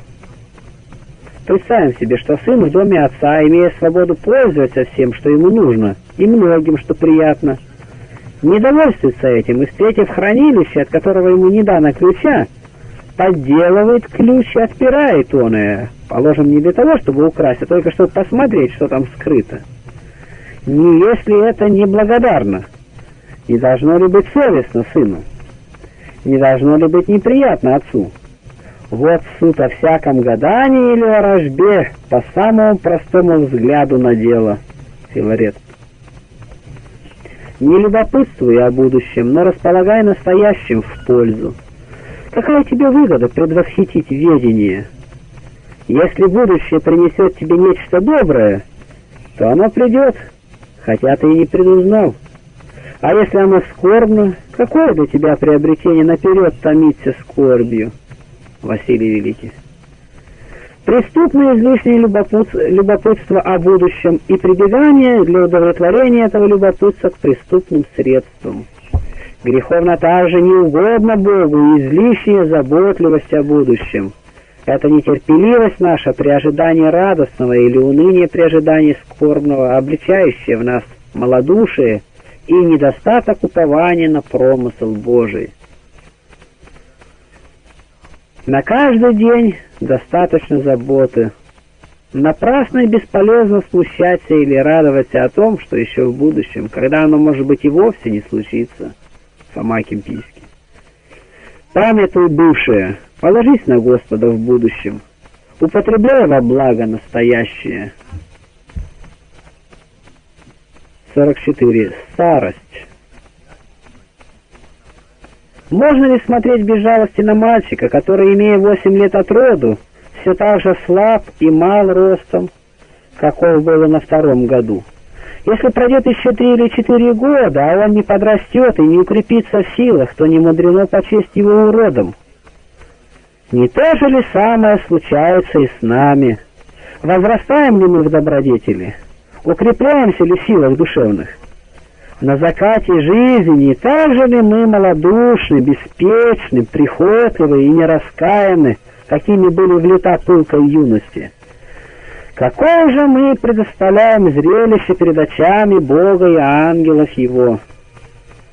Мы прошли все возрасты жизни, не сделавшись благонравнее. Мы были младенцами, отроками, юношами и мужами, но никогда не были добродетельными, Уважим, по крайней мере, старость свою и, приближаясь к пределу жизни, постараемся быть умеренными, трезвыми и справедливыми, чтобы хотя конец наш соделался для нас началом спасения. Климент Александрийский.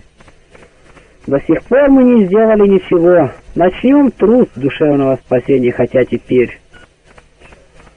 Цветущие юностью надеются достигнуть глубокой старости, а состарившиеся ничего не могут ожидать себе, кроме смерти. 45. Время и вечность. О, время, время! Как ты быстро вместе, как ненадежно! Каждый удар колокола, возвещающего течение твое, не есть ли для нас вестник, приближающийся к нам вечности? Не напрасно содержащий времена и лета в деснице своей заповедал простирать нам свои нужды и желания, не далее пределов дня настоящего, и просить себе от подателя всяких благ только насущного хлеба. Как время скоротечно! Недаром время изображает с крыльями, потому что оно действительно несется как бы на крыльях. Когда меня не спрашивают, что такое время, я знаю, что оно а когда я хочу его объяснить, я уже не знаю его более. Блаженный Августин. Время кажется долгим только для тех, которые не знают, куда употребить его. У людей, внимательных к своему долгу, не достает ни дел для времени, а времени для дел. Представьте себе пространство беспредельное. Что будет значить в нем одна пять? Так и век наш не более как пядь в беспредельном пространстве вечности посылал псалмопевца. Ты дал мне дни, как пяди, Псалом 38.6. Не более как капля в море, как зерно песка, Серахов 18.8, на берегу или на дне морском, как ничто, Псалом 38.6. И между тем, большей частью мы им только безрассудно и ограничиваем все наши заботы и попечения, а о вечности почти не помышляем, как будто ее не существует для нас. Время летит, а вечность приближается. Вечность есть всегда и никогда, то есть всегда будет и никогда не кончится. Помни всегда вечность, и ничего в мире не пожелаешь. Мысль о вечности всегда производили великие действия. Она воодушевляла мучеников и делала для них не страшными самые лютые страдания. Она затворяла в пустыне подвижников и доводила их до подвигов самоотвержения нечеловеческого. Она останавливала даже закоренелых грешников на пути беззакония и подавала им мужество сразиться с своими страстями чего бы размышление о вечности не могло произвести и над нами, если бы мы, внимая спасение души своей, хотя по временам, умели ему предаваться, как должно.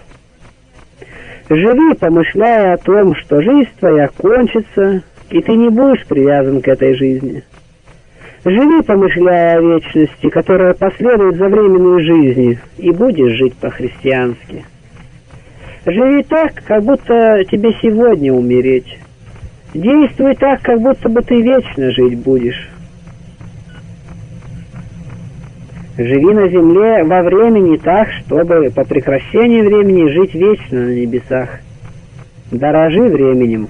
Оно дороже золота, им покупается блаженная вечность. Не только дни, но и часы старайся употреблять в пользу, потому что из малых составлены все большие вещи. «Настоящая минута есть маленькая вечность», — сказал Фенелон. «Как же не почитать драгоценными и самые минуты? Не теряй ни одной минуты, чтобы не купить на нее что-нибудь для вечности. Лови минуты, чтобы уловить годы и не упустить всей жизни. Береги каждое мгновение, на каждом из них опирается жизнь твоя». Если любите жизнь, не тратьте времени по-пустому, потому что жизнь состоит из времени. С пользой смотри, с пользой слушай, с пользой говори, с пользой отвечай. Василий Великий. Каждый час, каждая минута дороги, потому что даны со счетом, и в них потребуется отчет. Как не дорожить временем, когда премудрый промысел не дает нам вдруг по две минуты, а посылает новую не иначе, как отнимая у нас данную прежде, и каждую минуту, следующую после данной нам, хранить у себя, составляя нас в сомнении, получим ли мы ее. Время дорого, и однако ж как легкомысленно о нем думают, как мало его ценят. Когда вытекает ваше вино, вы печальны, говорит блаженный Августин, а когда теряете время, вы веселы. Долго ли жизнь наша, которую надо добывать покойную вечность? А мы еще сокращаем дорогое для нас время праздностью.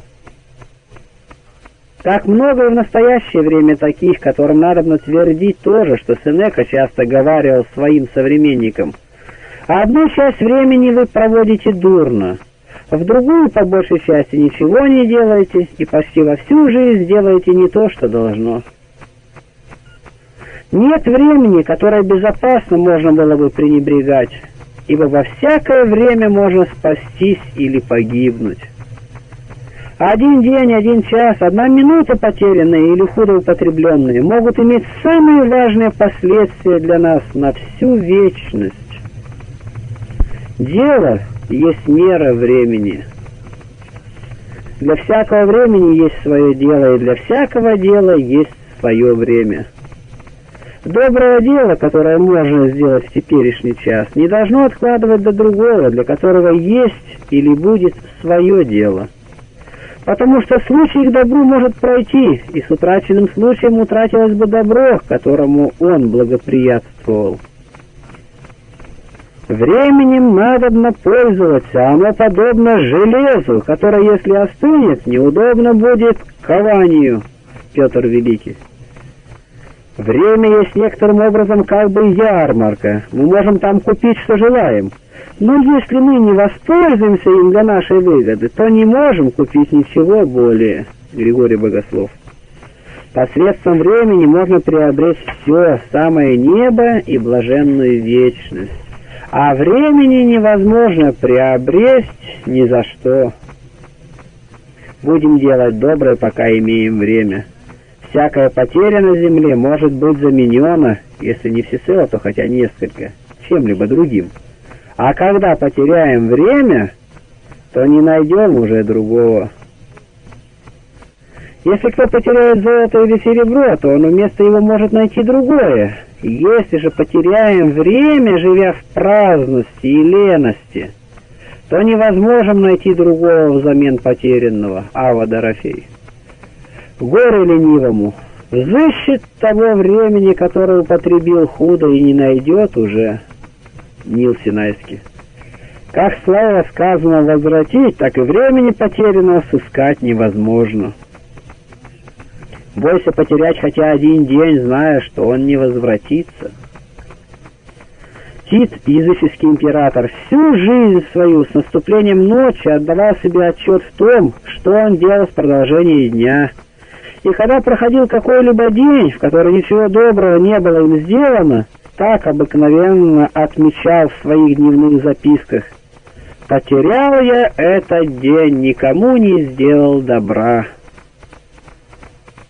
Наивысшее употребление времени состоит в посвящении его Творцу веков и времени. Кто не дает Богу своего времени, того Бог лишит своей блаженной вечности. 46. Не отчаивайся. И успехами не хвались, и при погрешностях не отчаивайся. Святой Ефрем Сирин. Согреши дело человеческое, отчаиваться дело сатанинское. Нил Синайский. Знаешь, что демонский помысл тот, который скажет, куда убежишь? Покаяния не имеешь, прощения не получишь вспоминая правосудие Божием, да ужасаешься, но не забывай милосердие Его, чтобы тебе не прийти в отчаяние. Отчаиваться значит самому у себя отнимать милость Божию, которую Господь каждую минуту готов подать, Филарет. Спасительная печаль о грехах от неумеренности становится гибельной. Деньги потеряны, немного потеряно. Время потеряно, много потеряно. Дух потерян, вследствие чего и бывает отчаяние. Все потеряно. Нерадение не зергает с неба, а отчаяние сводит в самую бездну зла, Златоуст. Отчаяние есть ад в душе, прежде нежели не изведет в ад душу. Грех отчаяния есть один из всех, в котором всего труднее получить прощение, потому что он прямо по природе своей противится прощению, потому что запирает дверь к раскаянию, которое одно и может заслужить прощение, особенно потому, что оскорбляет и отвергает Божие милосердие, которое одно и может даровать прощение.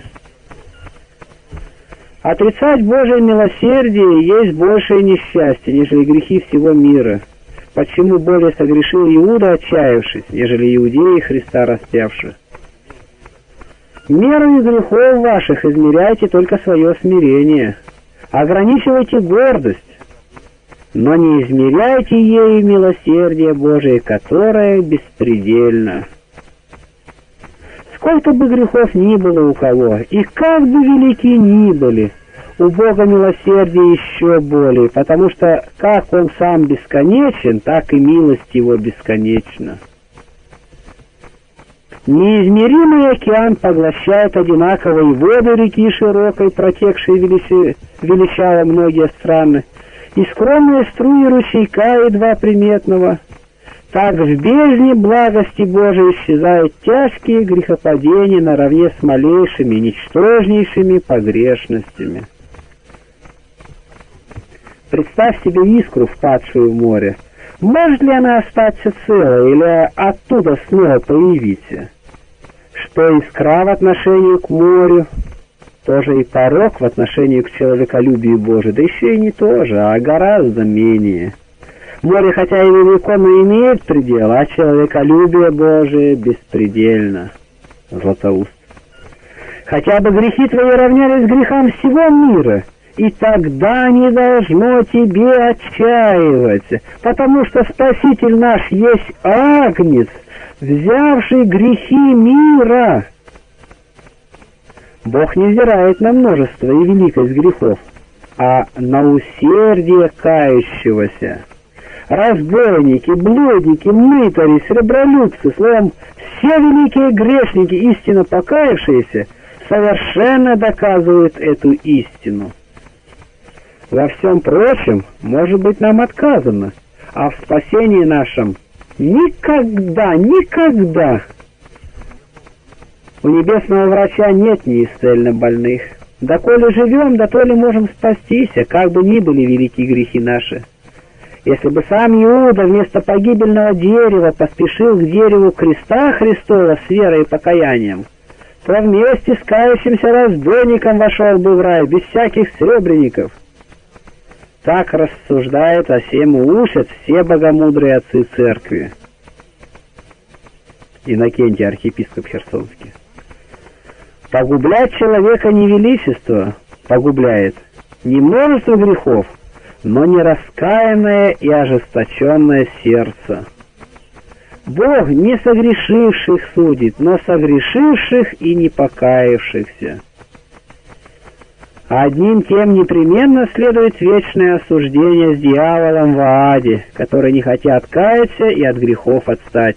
А кающимся отставшим от грехов двери милосердия Божия отверсты. Велики твои грехи, но милосердие Божие бесконечно. Множество у тебя грехов, но щедроты его бесчисленны. Господь благ ко всем, но первее и более всего ко грешникам кающимся. Сын Божий любил человека не падшего, но еще более возлюбил его падшего, и сам пришел воздвигнуть его и сказать ему, «Встань, спящий, воскресни из мертвых». Ефесянам 5.14. Господь не хочет смерти грешника, Иезекииля 33.11. Он даже умер за спасение грешника. Помни, что Христос умер за грешных, а не за праведных. Исаак Сирин. Христос не имел бы праведников, если бы не принимал милосердно грешников. Число святых умножается всегда от числа грешных. Блаженный Августин. Краткость времени не стесняет человеколюбие Божие. Опоздать можно только надеждой на людей, но никогда не поздно упование на Бога. Через раскаяние изглаждаются грехи даже и тогда, если это раскаяние находится при последнем издыхании. Блаженный Августин. не от долгого времени покаяния зависит, но от усердия кающегося. Нет позднего покаяния, пока человек в мире всем живет. Тогда только нужно будет отринуть надежду на покаяние, когда мы в аде, потому что там только это лекарство бессильно и бесполезно. Да мы здесь, оно хотя бы это было в старости или даже во вратах самой смерти, оно благотворно и спасительно, святой Златоуст. Не отчаивайся, зная безмерное милосердие Божие, хотя и во многие грехи впадешь, если даже и смерть перед собой видишь. Но мысль о милосердии Божьем отнюдь да не будет для тебя поощрением к совершению греха или к продолжению греховной жизни. Бог милосерд грешникам, но не ко всем, а только кающимся. К упорным же нераскаянным грешникам он и правосуден. Не отчаивайся, потому что Господь милостив, но не будь и беспечен, потому что Он праведен, Златоуст. Одним оком взирай на милосердие Божие, а другим на правду Его, Святой Тихон Задонский. 47. Покаяние. Если бы не было покаяния, то не было бы спасающихся. Ава Исаия. Покаяние есть лестница, возводящая нас туда, откуда мы не спали. Ефрем Сирин. Раскаяние есть доска после кораблекрушения. Грех — ужасное зло, впрочем, не неисцельное. Ужасное зло для удерживающего себе грех удобоисцелимое же для слагающего себя грех покаянием. Кирилл Иерусалимский. Камень, брошенный в море, исчезает, и никому неведом остается. Так и грехи наши потонут в бездне милосердия Божия, исчезнут перед оком правосудия небесного, если мы чистосердечно раскаемся в них. Один воин спросил Ау Миоса, принимает ли Бог раскаяние? Старец ответил ему, «Скажи мне, возлюбленный, если у тебя разорвется плащ, то выбросишь ли его вон?» Воин говорит ему, «Нет, но я зашью его и опять буду употреблять его». «Если ты так щадишь свою одежду, — сказал ему старец, — то тем более Бог не пощадит ли свое творение?» Сознание своей греховности и самоукорение — первые шаги на пути покаяния. Лука 15-17. Имейте довольно силы, чтобы всегда сознаваться в ваших проступках. Это даст вам желание загладить их. Познай, что ты согрешил, и загладишь грехи свои. Нил Синайский. Не сознаваться в своих проступках значит увеличивать их. Дважды грешит, кто грешит и грехом хвалится. Преступно не столько делание греха, сколько бесстыдство после греха, Златоуст. Где попрано чувство чести, там невозможно более исправления. Но где оно еще сохранилось, там всегда есть надежда на спасение. Сделавший грех должен сам осуждать себя, хотя бы никто другой не обвинял его. Тот на добром пути может ожидать себе прощения во грехах, кто сам собой недоволен, блажен Августин. Если душа обвинит себя перед Господом, Господь ее возлюбит. Как скоро грешник произнес на самого себя осуждение, он отвратил суд Божий, прощая другим все, а себе ничего. Если хочешь обелить себя в очах Божьих, позволь людям очернить себя в их глазах. Кто оправдывает себя, тот отчуждает себя от покаяния. Конец добродетелей есть любовь, конец же страстей — самооправдание. Не старайтесь никогда оправдываться, не имея на то достаточной причины. Оправдание своей порочной жизни, слабости человеческую, нисколько не имеет силы, чтобы служить оправданием. Пороки от слабости. Поэтому, чтобы добродетельным быть, надо быть исполином. А мы, напротив, как из священных писаний, знаем, что когда все исполнено на земле, Тогда и умножилась злоба человеческая на земле. Не успокаивай себя в своих греховных действиях, порочным образом жизни своих ближних, или, как выражается Преосвященный Феофан, обычности греха вокруг себя. Это не послужит к оправданию твоих грехов и, следовательно, не избавит от наказания за грех правосудием Божиим. Грех общий не становится менее виновным перед Богом от того, что он общий. Общие-то грехи возбуждают всего сильнее гнев Божий. Бытие 6, 5, 7. Несмотря ни на какое число, истребит Господь всех делающих беззаконие. Как глупа эта поговорка, как все, так и я. Если бы мой был как все, то и он бы погиб со всеми. Скажет кто-либо, не один я грешу. На это ответ для всех таков. В аде место достанет. Не полагайся на благость Божию в отношении себя, если ты не думаешь и не заботишься об исправлении своей греховной жизни. Многие из нас, обещая себе все, все со стороны благости Божией, ничего не требуют от себя. По легкомыслию грешник мечтает получить от одной щедроты Божией то, что Бог повелевает заслуживать, то есть надеется зайти на небо путем, ведущим в ад. Он уподобляется тому, кто среди вод почитает бесполезным всякое усилие плыть, в надежде, что волна сама собой прибьет его к берегу. Какое странное рассуждение! Бог благ, и так необходимо, чтобы я был зол. Он по своей благости простит мне все, и так я не должен иметь страха грешить. Он имеет довольно терпения, чтобы ожидать моего раскаяния. Итак, я хочу иметь довольно наглости, чтобы продолжать оскорблять его грехами. Тертулиан. Кающийся и надеющийся прославляет бесконечное милосердие Божие. Надеющийся и не кающийся хулит Бога, представляя его покровителем зла. Филарет. Никто столько не благ и не милосерд, как Господь но не кающемуся и он не прощает. Святой Марк Подвижник. Святый Бог, единый, безгрешный, единородного Сына Своего не пощадил ради тебя, а ты, несчастный грешник, не кающийся, и не милуешь самого себя. Святой Ефрем Сирин. Пощади, пощади душу мою. Остановись, несчастный.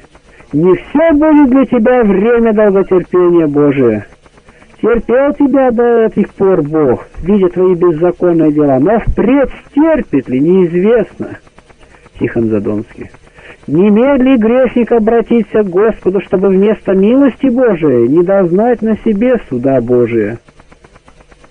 Страшно человеку, когда Господь обратит, наконец, праведный взор свой на душу его, и ничего не найдет в ней доброго.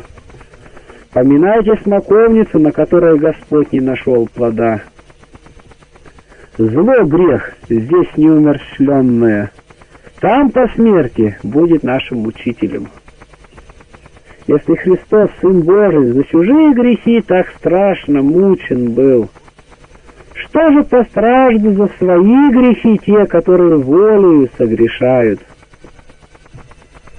Если мы болезнуем о умерших, то кто будет столько бесчувствен, чтобы не оплакивать умершей своей души? Святой Ян Постник.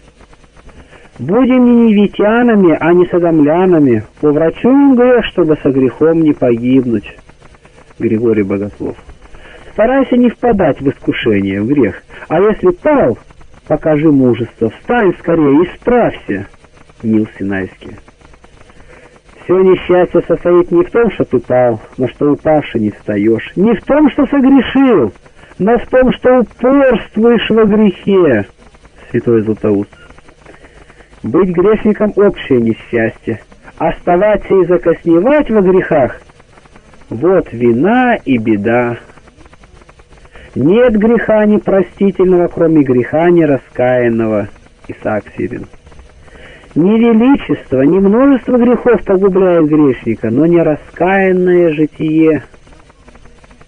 Погрешить всякому человеку сродно, а стоять упорно в заблуждении свойственно одному только безумному. Цицерон. Согрешить дело человеческое, но во грехе быть и лежать — дьявольское. Не грешить совсем дело ангельское. Грешить как можно меньше — дело человеческое. Тасть — моя немощь. Но пребывать по грехе — доля дьявола, моя погибель.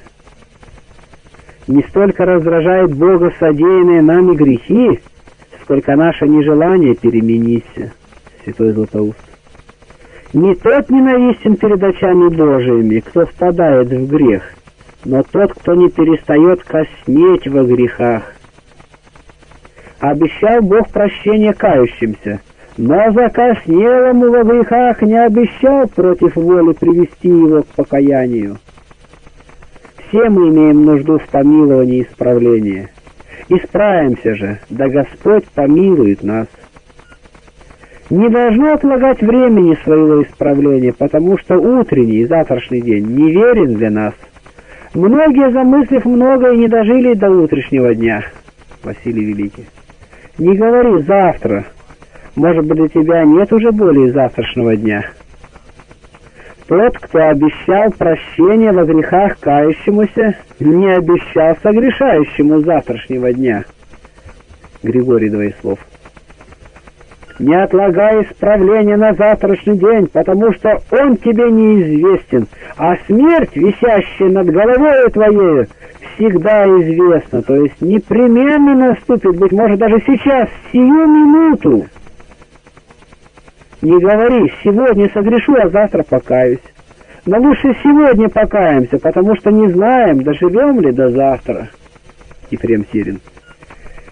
Некоторому старцу говорили помышления его, «Оставь сегодня, завтра займешься принесением покаяния». Он отвечал помышлением, «Нет, сегодня займусь принесением покаяния, а завтра что Господь устроит по воле своей?» Не откладывай до завтра, этому завтра никогда нет конца, Златоуст. Отлагая до завтрашнего дня, или вернее сказать, до неизвестного времени, исправления своей жизни, грешник как бы так рассуждает сам с собою. Чтобы исторгнуть из моего сердца страсть, я буду ожидать, пока она еще глубже пустит в нем свои корни. Чтобы потушить огонь меня пожирающий, я подожду, пока он сделается неугасимым. Чтобы избавиться от оков меня обременяющих, я помедлю, пока еще более увеличится их тяжесть. Чтобы освободиться от зловонного ила грехов, в котором я задыхаюсь, я останусь им до тех пор, пока совершенно в нем погрязну. Таким образом, Богу он посвящает свои неисполнимые желания, а во грехах проводит всю свою жизнь. Всякий грешник, отлагающий свое обращение, как бы так говорит Богу, «Боже мой, я отказываю тебе в том, что теперь имею, что могу теперь сделать и что должен воздать тебе. Но я приношу тебе то, чего у меня нет, и обещаю тебе то, чего я, может быть, никогда иметь не буду. Более или менее всякий думает спастись путем покаяния. Но беда в том, что многие не хотят ближайшего спасения. Смотри, чтоб покаяние не пришло тебе на мысль уже тогда, когда только одному отчаянию будет время и место святой Исидор Пилосиот. «Я при смерти могу покаяться», — говорит иной. «Можно с таким покаянием и в ад пойти». Надо бы опасаться, чтобы у немощного не было и покаяния немощное, а у умирающего мертвое. Если только при смерти приносим покаяние, то можно сказать, что не мы оставляем грехи, но они оставляют нас. Надо бы оставить прихоти, пока они нас не оставили. Надо бы оставить суету, пока она нас не оставит. Помни, что при смерти нет уже силы творить добро, если ты не творил добра во время жизни. Как сомнительно спастись пловцам, когда они у жерла пучины. Так сомнительно спасение для грешника, когда он во вратах или челюстях смерти. Когда же мы будем лучше? О, исправимся, пока есть время. Если рыба, будучи еще в воде, проторгла сеть, в которую была завлечена, и уплыла в глубину, то она спаслась. Но если сети извлекли ее на сухой берег, тогда нет уже для нее спасения. Так и мы, доколе находимся в здешней жизни, ли имеем силу и возможность расторгнуть те узы, коими враг наш дьявол оковывает нас, и через покаяние свергнуть с себя бремя грехов, наследовать вечное спасение. Но когда душа разлучится с телом и переступит на ту сторону гроба, как рыба на сухой берег, тогда уже нет для ней спасения, ибо после смерти нет покаяния. Должно делать пока день и настоящая жизнь есть, а когда придет ночь, смерть, тогда никто не может делать. Святое таинство покаяния есть купель, в которой грешник очищается для неба. При крещении мы рождаемся водой и духом. При покаянии мы возрождаемся слезами и духом. В книге жизни нашей есть много страниц мрачных. Эти страницы должны быть омыты слезами покаяния. Грех полагает на нас такое пятно, которого нельзя смыть тысячу источников — а только одними слезами и раскаянием, Златоуст. Кто хочет очиститься от грехов, очищает их слезами. Пост почитай оружием, молитву стеною, слезы банию, Нил Синайский. Всякий грех совершается для наслаждения, и всякое прощение грехов получается через зло, страдание и печаль. Грех входит услаждением, а изгоняется горечью. Оскорбление Бога исцеляется скорбью по Богу. Бог обыкновенно отвращается не столько грешащих, сколько тех, которые, учинив грех, не сокрушаются о нем. Златоуст. О сем-то и более стенай, что не чувствует сокрушения о своих беззакониях. Кто не плачет о грехах своих, тот будет плакать от наказания за грех. Кто здесь не плачет о себе, тот будет вечно плакать там. Итак, необходимо плакать или здесь добровольно, или там от мучений. Восплачем, братья, пусть очи наши проливают слезы, прежде нежели отойдем туда, где наши слезы будут сжечь наши тела. Святой Макарий Великий. Будем плакать по мере беззакония. Для глубокой раны должно быть внимательное и долгое врачевание. Покаяние не должно быть меньше преступления. Святой Киприан Карфагенский. Если кто здесь не родится свыше, тот пожалеет, для чего он вообще родился на этот свет. Если кто впадет в какое-либо прегрешение и не будет печалиться по мере оного, то легко опять впадет в ту же сеть, святой Марк Подвижник. Плач твой да соответствует грехам твоим. Если падение твое невелико, довольно с тебя слезы. Если же велико, должен быть поток слезный. Если же ты чист, то дай взаим другому слезу твою и плачь о грехе брата. Но если бы плакали мы и о своих только грехах, святой Иоанн Постник, Павел Апостол три года плакал день и ночь, исправляя чужие недостатки, Деяние 20.31. А мы о своих не плачем, Златоуст. Не только не оплакиваем содеянного, но еще умножаем то, что должно быть оплакиваемо, Григорий Двоеслов. Блажен, кто постоянно оплакивает грехи свои. Как после проливного дождя воздух делается чистым, так и по пролитии слез настает тишина и ясность, а мрак греховный исчезает. Печаль, которая по Богу, 2 Коринфянам 7.10, есть путь к радости о Боге. Нет ничего сладостней, как печаль по Богу, Златоуст. Печаль по Боге делает и полезнее радости мирской. Как мирская радость бывает смешана с печалью, так слезы по Боге произвращают всегдашнюю и неувидающую радость. Он же. Мир смотрит на кающегося с сожалением, насмешкой, отчасти с отвращением. Но придет время, и печаль, которая по Богу, обратится в радость. А мир восплачется и возрыдает, но уже никогда не возрадуется. Поспешим сеять слезы покаяния, чтобы пожать радость спасения. Одно из главных действий покаяния есть исповедь. После того, как грешник придет в себя, подобно блудному сыну, упоминаемому в евангельской притче Лука 15:17, познает свои грехи, обратится к Богу с сердцем сокрушенным и смиренным, укорит, осудит, оплачет себя перед Ним. Он должен исповедать, обнаружить свое греховное состояние перед священником, не утаивая от него ни одного греха.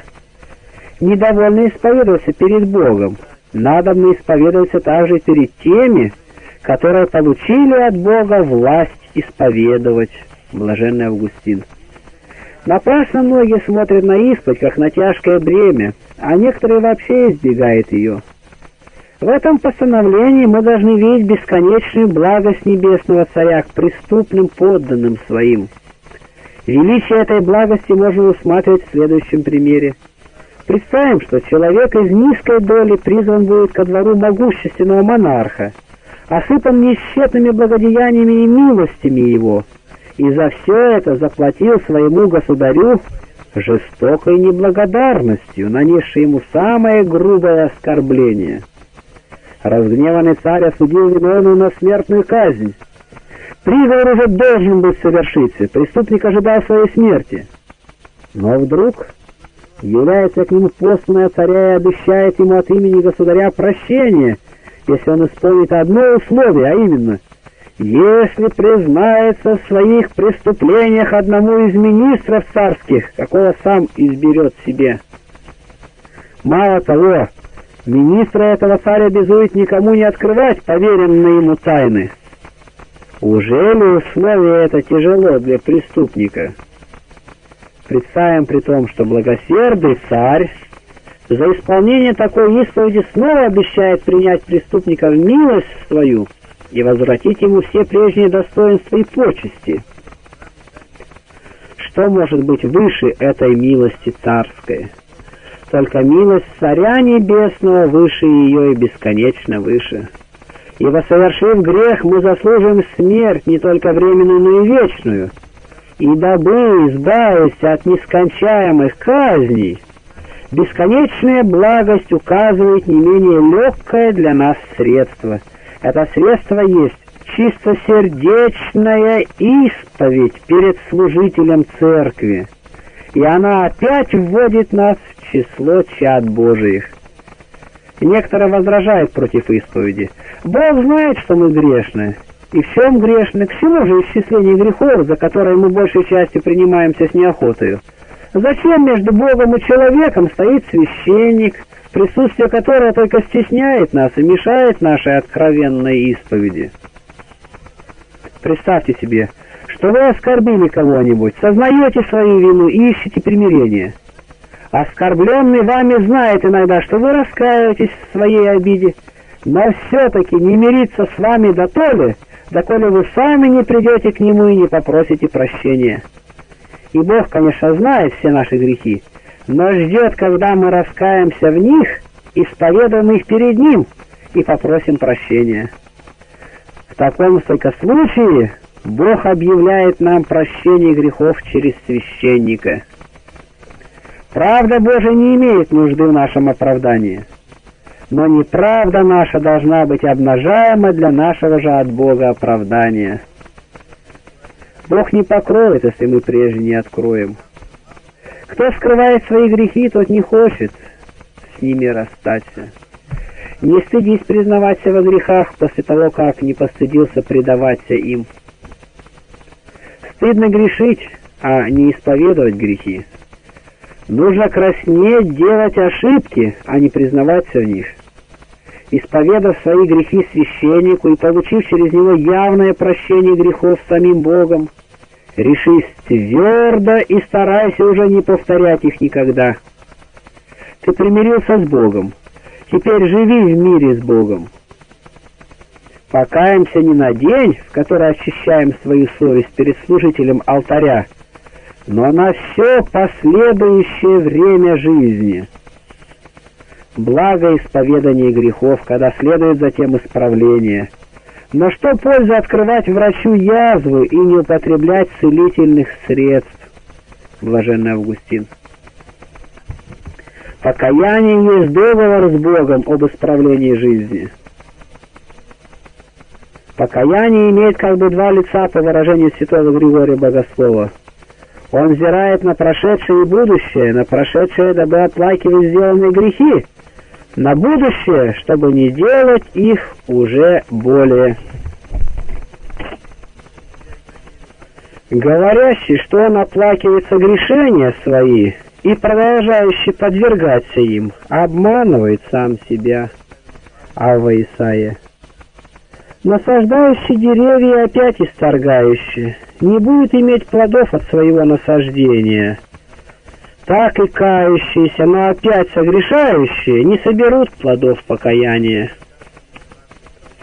С поверхностно раскаявшимся бывает то же, что с больными после превратного врачевания. Болезнь ожесточается более и более. Бог не оставляет нам грехов, когда мы сами их не оставляем. Чтобы получить нам прощение от Бога, недовольно помолиться два или три дня. Надо произвести перемену во всей жизни и, оставив порог, постоянно пребывать в добродетели. Святой Златоуст. Прощение грехов есть свобода от страстей, а кто от них не освободился благодатью, тот не получил еще прощения. Ава Фаласий. Самый верный знак, по которому всякий кающийся грешник может узнавать, действительно ли грехи его прощены от Бога, есть тот. Когда мы чувствуем такую ненависть и отвращение от всех грехов, что лучше согласимся умереть, нежели произвольно согрешить перед Господом. Святой Василий Великий. Как может, вопрошает тоже Святой Отец, известиться душа, что Бог простил ей грехи? И отвечает, если увидеть себя в таком же расположении, какое имел сказавший, неправду возненавидях и омерзех. Псалом 118-163 молитвы, милостыни, посты, умершление плоти составляет только одежду христианского покаяния, а ненависть к греху есть сущность его. Покаяние есть война со грехом. Кто в надежде на покаяние поползнется вторично совершить тот же грех, в котором принес покаяние, тот лукаво поступает с Богом, святой Исаак Сирин. Будем помнить жену Лотову. Зато только что озрелась на погибельные города, она превращена в столб соляный. Какому же, думаете, наказанию подвергнемся мы, если, презрев милосердие Божие, исторгшее нас из бездны греховной, легкомысленно опять возвратимся в нее? Чтобы сохранить себя от грехопадения после покаяния, Старайся, особенно на первых порах, когда еще ты не окреп нравственно, избегать встречи со грехом. Удаляйся тех лиц и тех мест, какие могут дать тебе случай согрешить. Тех мест, которые подают тебе случай к падениям, убегай как бича. Ибо когда мы не видим запрещенного плода, то не так сильно его и желаем. Святой Иоанн Лестичник. Отчего Мария Египетская не воротилась из Иерусалима, где она раскаялась к своей прежней греховной жизни, в Египет, а ушла в пустыню за Иорданскую? От того, что прежде чем дошла она до Египта, должна была бы встретиться с прежними предметами и едва ли устояла бы против имевших произойти от того возбуждения греха. Так надо поступать и всякому. Положив доброе намерение исправиться, надо отбросить все прежнее и назначить себе новые порядки и правила. Этим порочные склонности и страсти стесняются и положатся как бы под гнет. Как невозможно разучиться какому-нибудь языку или искусству, не перестав совершенно не только делать или говорить что-нибудь, относящееся к этому искусству, но и слушать говорящих и видеть делающих. Тоже надо наблюдать и в рассуждении всякого порока. Василий Великий. Полезно удаляться от причин к греху, поводов к греху. Человек, находящийся близ повода к греху, подобен стоящему у края глубокой ямы, и враг удобно ввергает его в нее, когда только захочет. Удаленный же от поводов к греху подобен стоящему вдали от ямы, когда враг повлечет его к яме, то он имеет время и возможность воспротивиться, воззвать к Богу, и Бог поможет ему. Ава Пимен. Спичка от чего разгорается? От прикосновения и трения. Так и наше грехолюбивое сердце при открытии случаев к греху не может не пленяться. Внушайте сколько угодно дитяти, держащему в руках своих острое орудие, чтобы оно не сделало им себе какого-либо вреда. Но если не лишите его этого орудия, то все наставления, все даже угрозы останутся тщетными. Так и мы. Если не будем удаляться причин греха и случаев к греху, то кто поручится за нас, что и мы не будем им опять уязвлены? Столпы чудотворцы падают, как видим в историях. Чего уж ожидать тростям сокрушенным? Тихон Задонский. Если нет возможности удалиться от предметов соблазнительных, приготовь себя к ним ясным сознанием всей опасности их. Это ослабит силу опасной встречи, если не совсем уничтожить ее. Не позволяй сердцу вспоминать с наслаждением прошедшее, дабы не вкралось в душу твою похотение и не заставило ее возвратиться в Египет. Блаженный Августин грехов, содеянных прежде, не укрепляй в душе твоей размышлением о них, чтобы они не возобновились в тебе.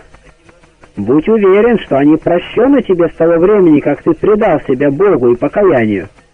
В том не сомневайся, Антоний Великий. Бойся впадать в те же грехи, которые милосердие Божие простило тебе через таинство покаяния. Но если по немощи и впадешь, то не приходи в отчаяние. Если и тысячи раз согрешишь, но потом опять прибегнешь к покаянию, то снова очистишься от скверн и от соделанных тобой беззаконий. Святой Ефрем Сирин. Брат спросил Аллу Пимена, отец, если человек впадет в какое-либо согрешение и потом снова обратится к добродетельной жизни, то будет ли прощено ему Богом согрешение его? Старец отвечал, «Бог заповедал апостолу Петру прощать брату своему семьдесят раз по семь. Он заповедал человеком поступать так, тем более он сам так поступит». 48. Причащение. О таинстве причащения, если размышлять пространно, то надо бы размышлять целую вечность ибо это святейшее таинство есть верх всемогущества, премудрости и любви Божией к нам. Какое непостижимое чудо беспредельной любви Божией открывается нам в таинстве причащения. Бог при всем своем всемогуществе, говорит блаженный Августин, не мог бы дать нам ничего более, при всей своей премудрости не нашел бы ничего дать нам более. При всем своем богатстве не имел бы ничего дать нам более. Священнодействие, за которым совершается великое таинство причащения, называется Евхаристией, благодарение. Потому особенно, что здесь мы имеем побуждение более благодарить, нежели просить, ибо здесь более получаем, нежели просим, и даже не остается ничего совершенно, чего бы не даровал нам здесь Бог. Если бы Бог по своей благости позволил человеку просить у него всего, чего только он не пожелал, и о чем он мог бы только себе вообразить, то и тогда осмелился ли бы человек, хотя только помыслить о том, что ему теперь предлагается в таинстве причащения. Помысли, христианин, какой чести ты удостоен, какой наслаждаешься трапезою, на что с трепетом взирают ангелы и не смеют воззреть без страха по причине сияния отсюда исходящего. Тем мы питаемся, с тем сообщаемся и делаемся одним телом и одной плотью со Христом. Кто возглаголит силы Господней, слышно сотворит все хвалы Его. Псалом 105.2. Златоуст. Мариам за совершенство своих добродетелей избрана быть Матерью Божией, нося Спасителя в чреве своем, вопияла в восторге благодарности. «Сотвори мне величие сильный». Не имеет ли право подобным образом сказать о себе и христианин, отходя от святой трапезы Господней, когда душа его, как говорит Тартулян, бывает уточнена самим Богом. Если кто сомневается и неверие имеет о святом боже... святой божественной тайне, как хлеб, сущий на трапезе, прилагается в тело, и вино в кровь Иисуса Христа, Сына Божия, и бывает истинное тело его истинная кровь в священном служении, литургии, тогда всякий православный христианин должен спросить его, Бог может ли что больше человека сотворить и выше разума его? И когда тот скажет «может», скажи ему, «Так уже ли не может дать нам плоти своей в пищу? Как словом Господним небеса утвердились, так тем же словом Бог применяет хлеб и вино в тело и кровь свою». Дмитрий Ростовский. Чудо присуществления или приложения хлеба и вина в причистое тело и в причистую кровь Бога-человека, совершаемое в таинстве причащения, не должно казаться для нас слишком непостижимым до степени невероятия. Когда мы видим, как в нашем собственном теле обыкновенный хлеб обращается в плоть, и обыкновенное вино в кровь, Каким образом, спросишь, прославленное тело Спасителя, пребывая с душою, как учит Священное Писание, одесную Бога Отца, и не будучи вездесущим, может находиться на каждом святом жертвеннике, и с другой стороны, как его же тело и кровь, непрестанно раздаваемые, не подлежат умолению, а как возлюбленный светит солнце? Вездесуще ли оно? Нет. Оставляет ли оно когда-либо место свое на небе? Никогда.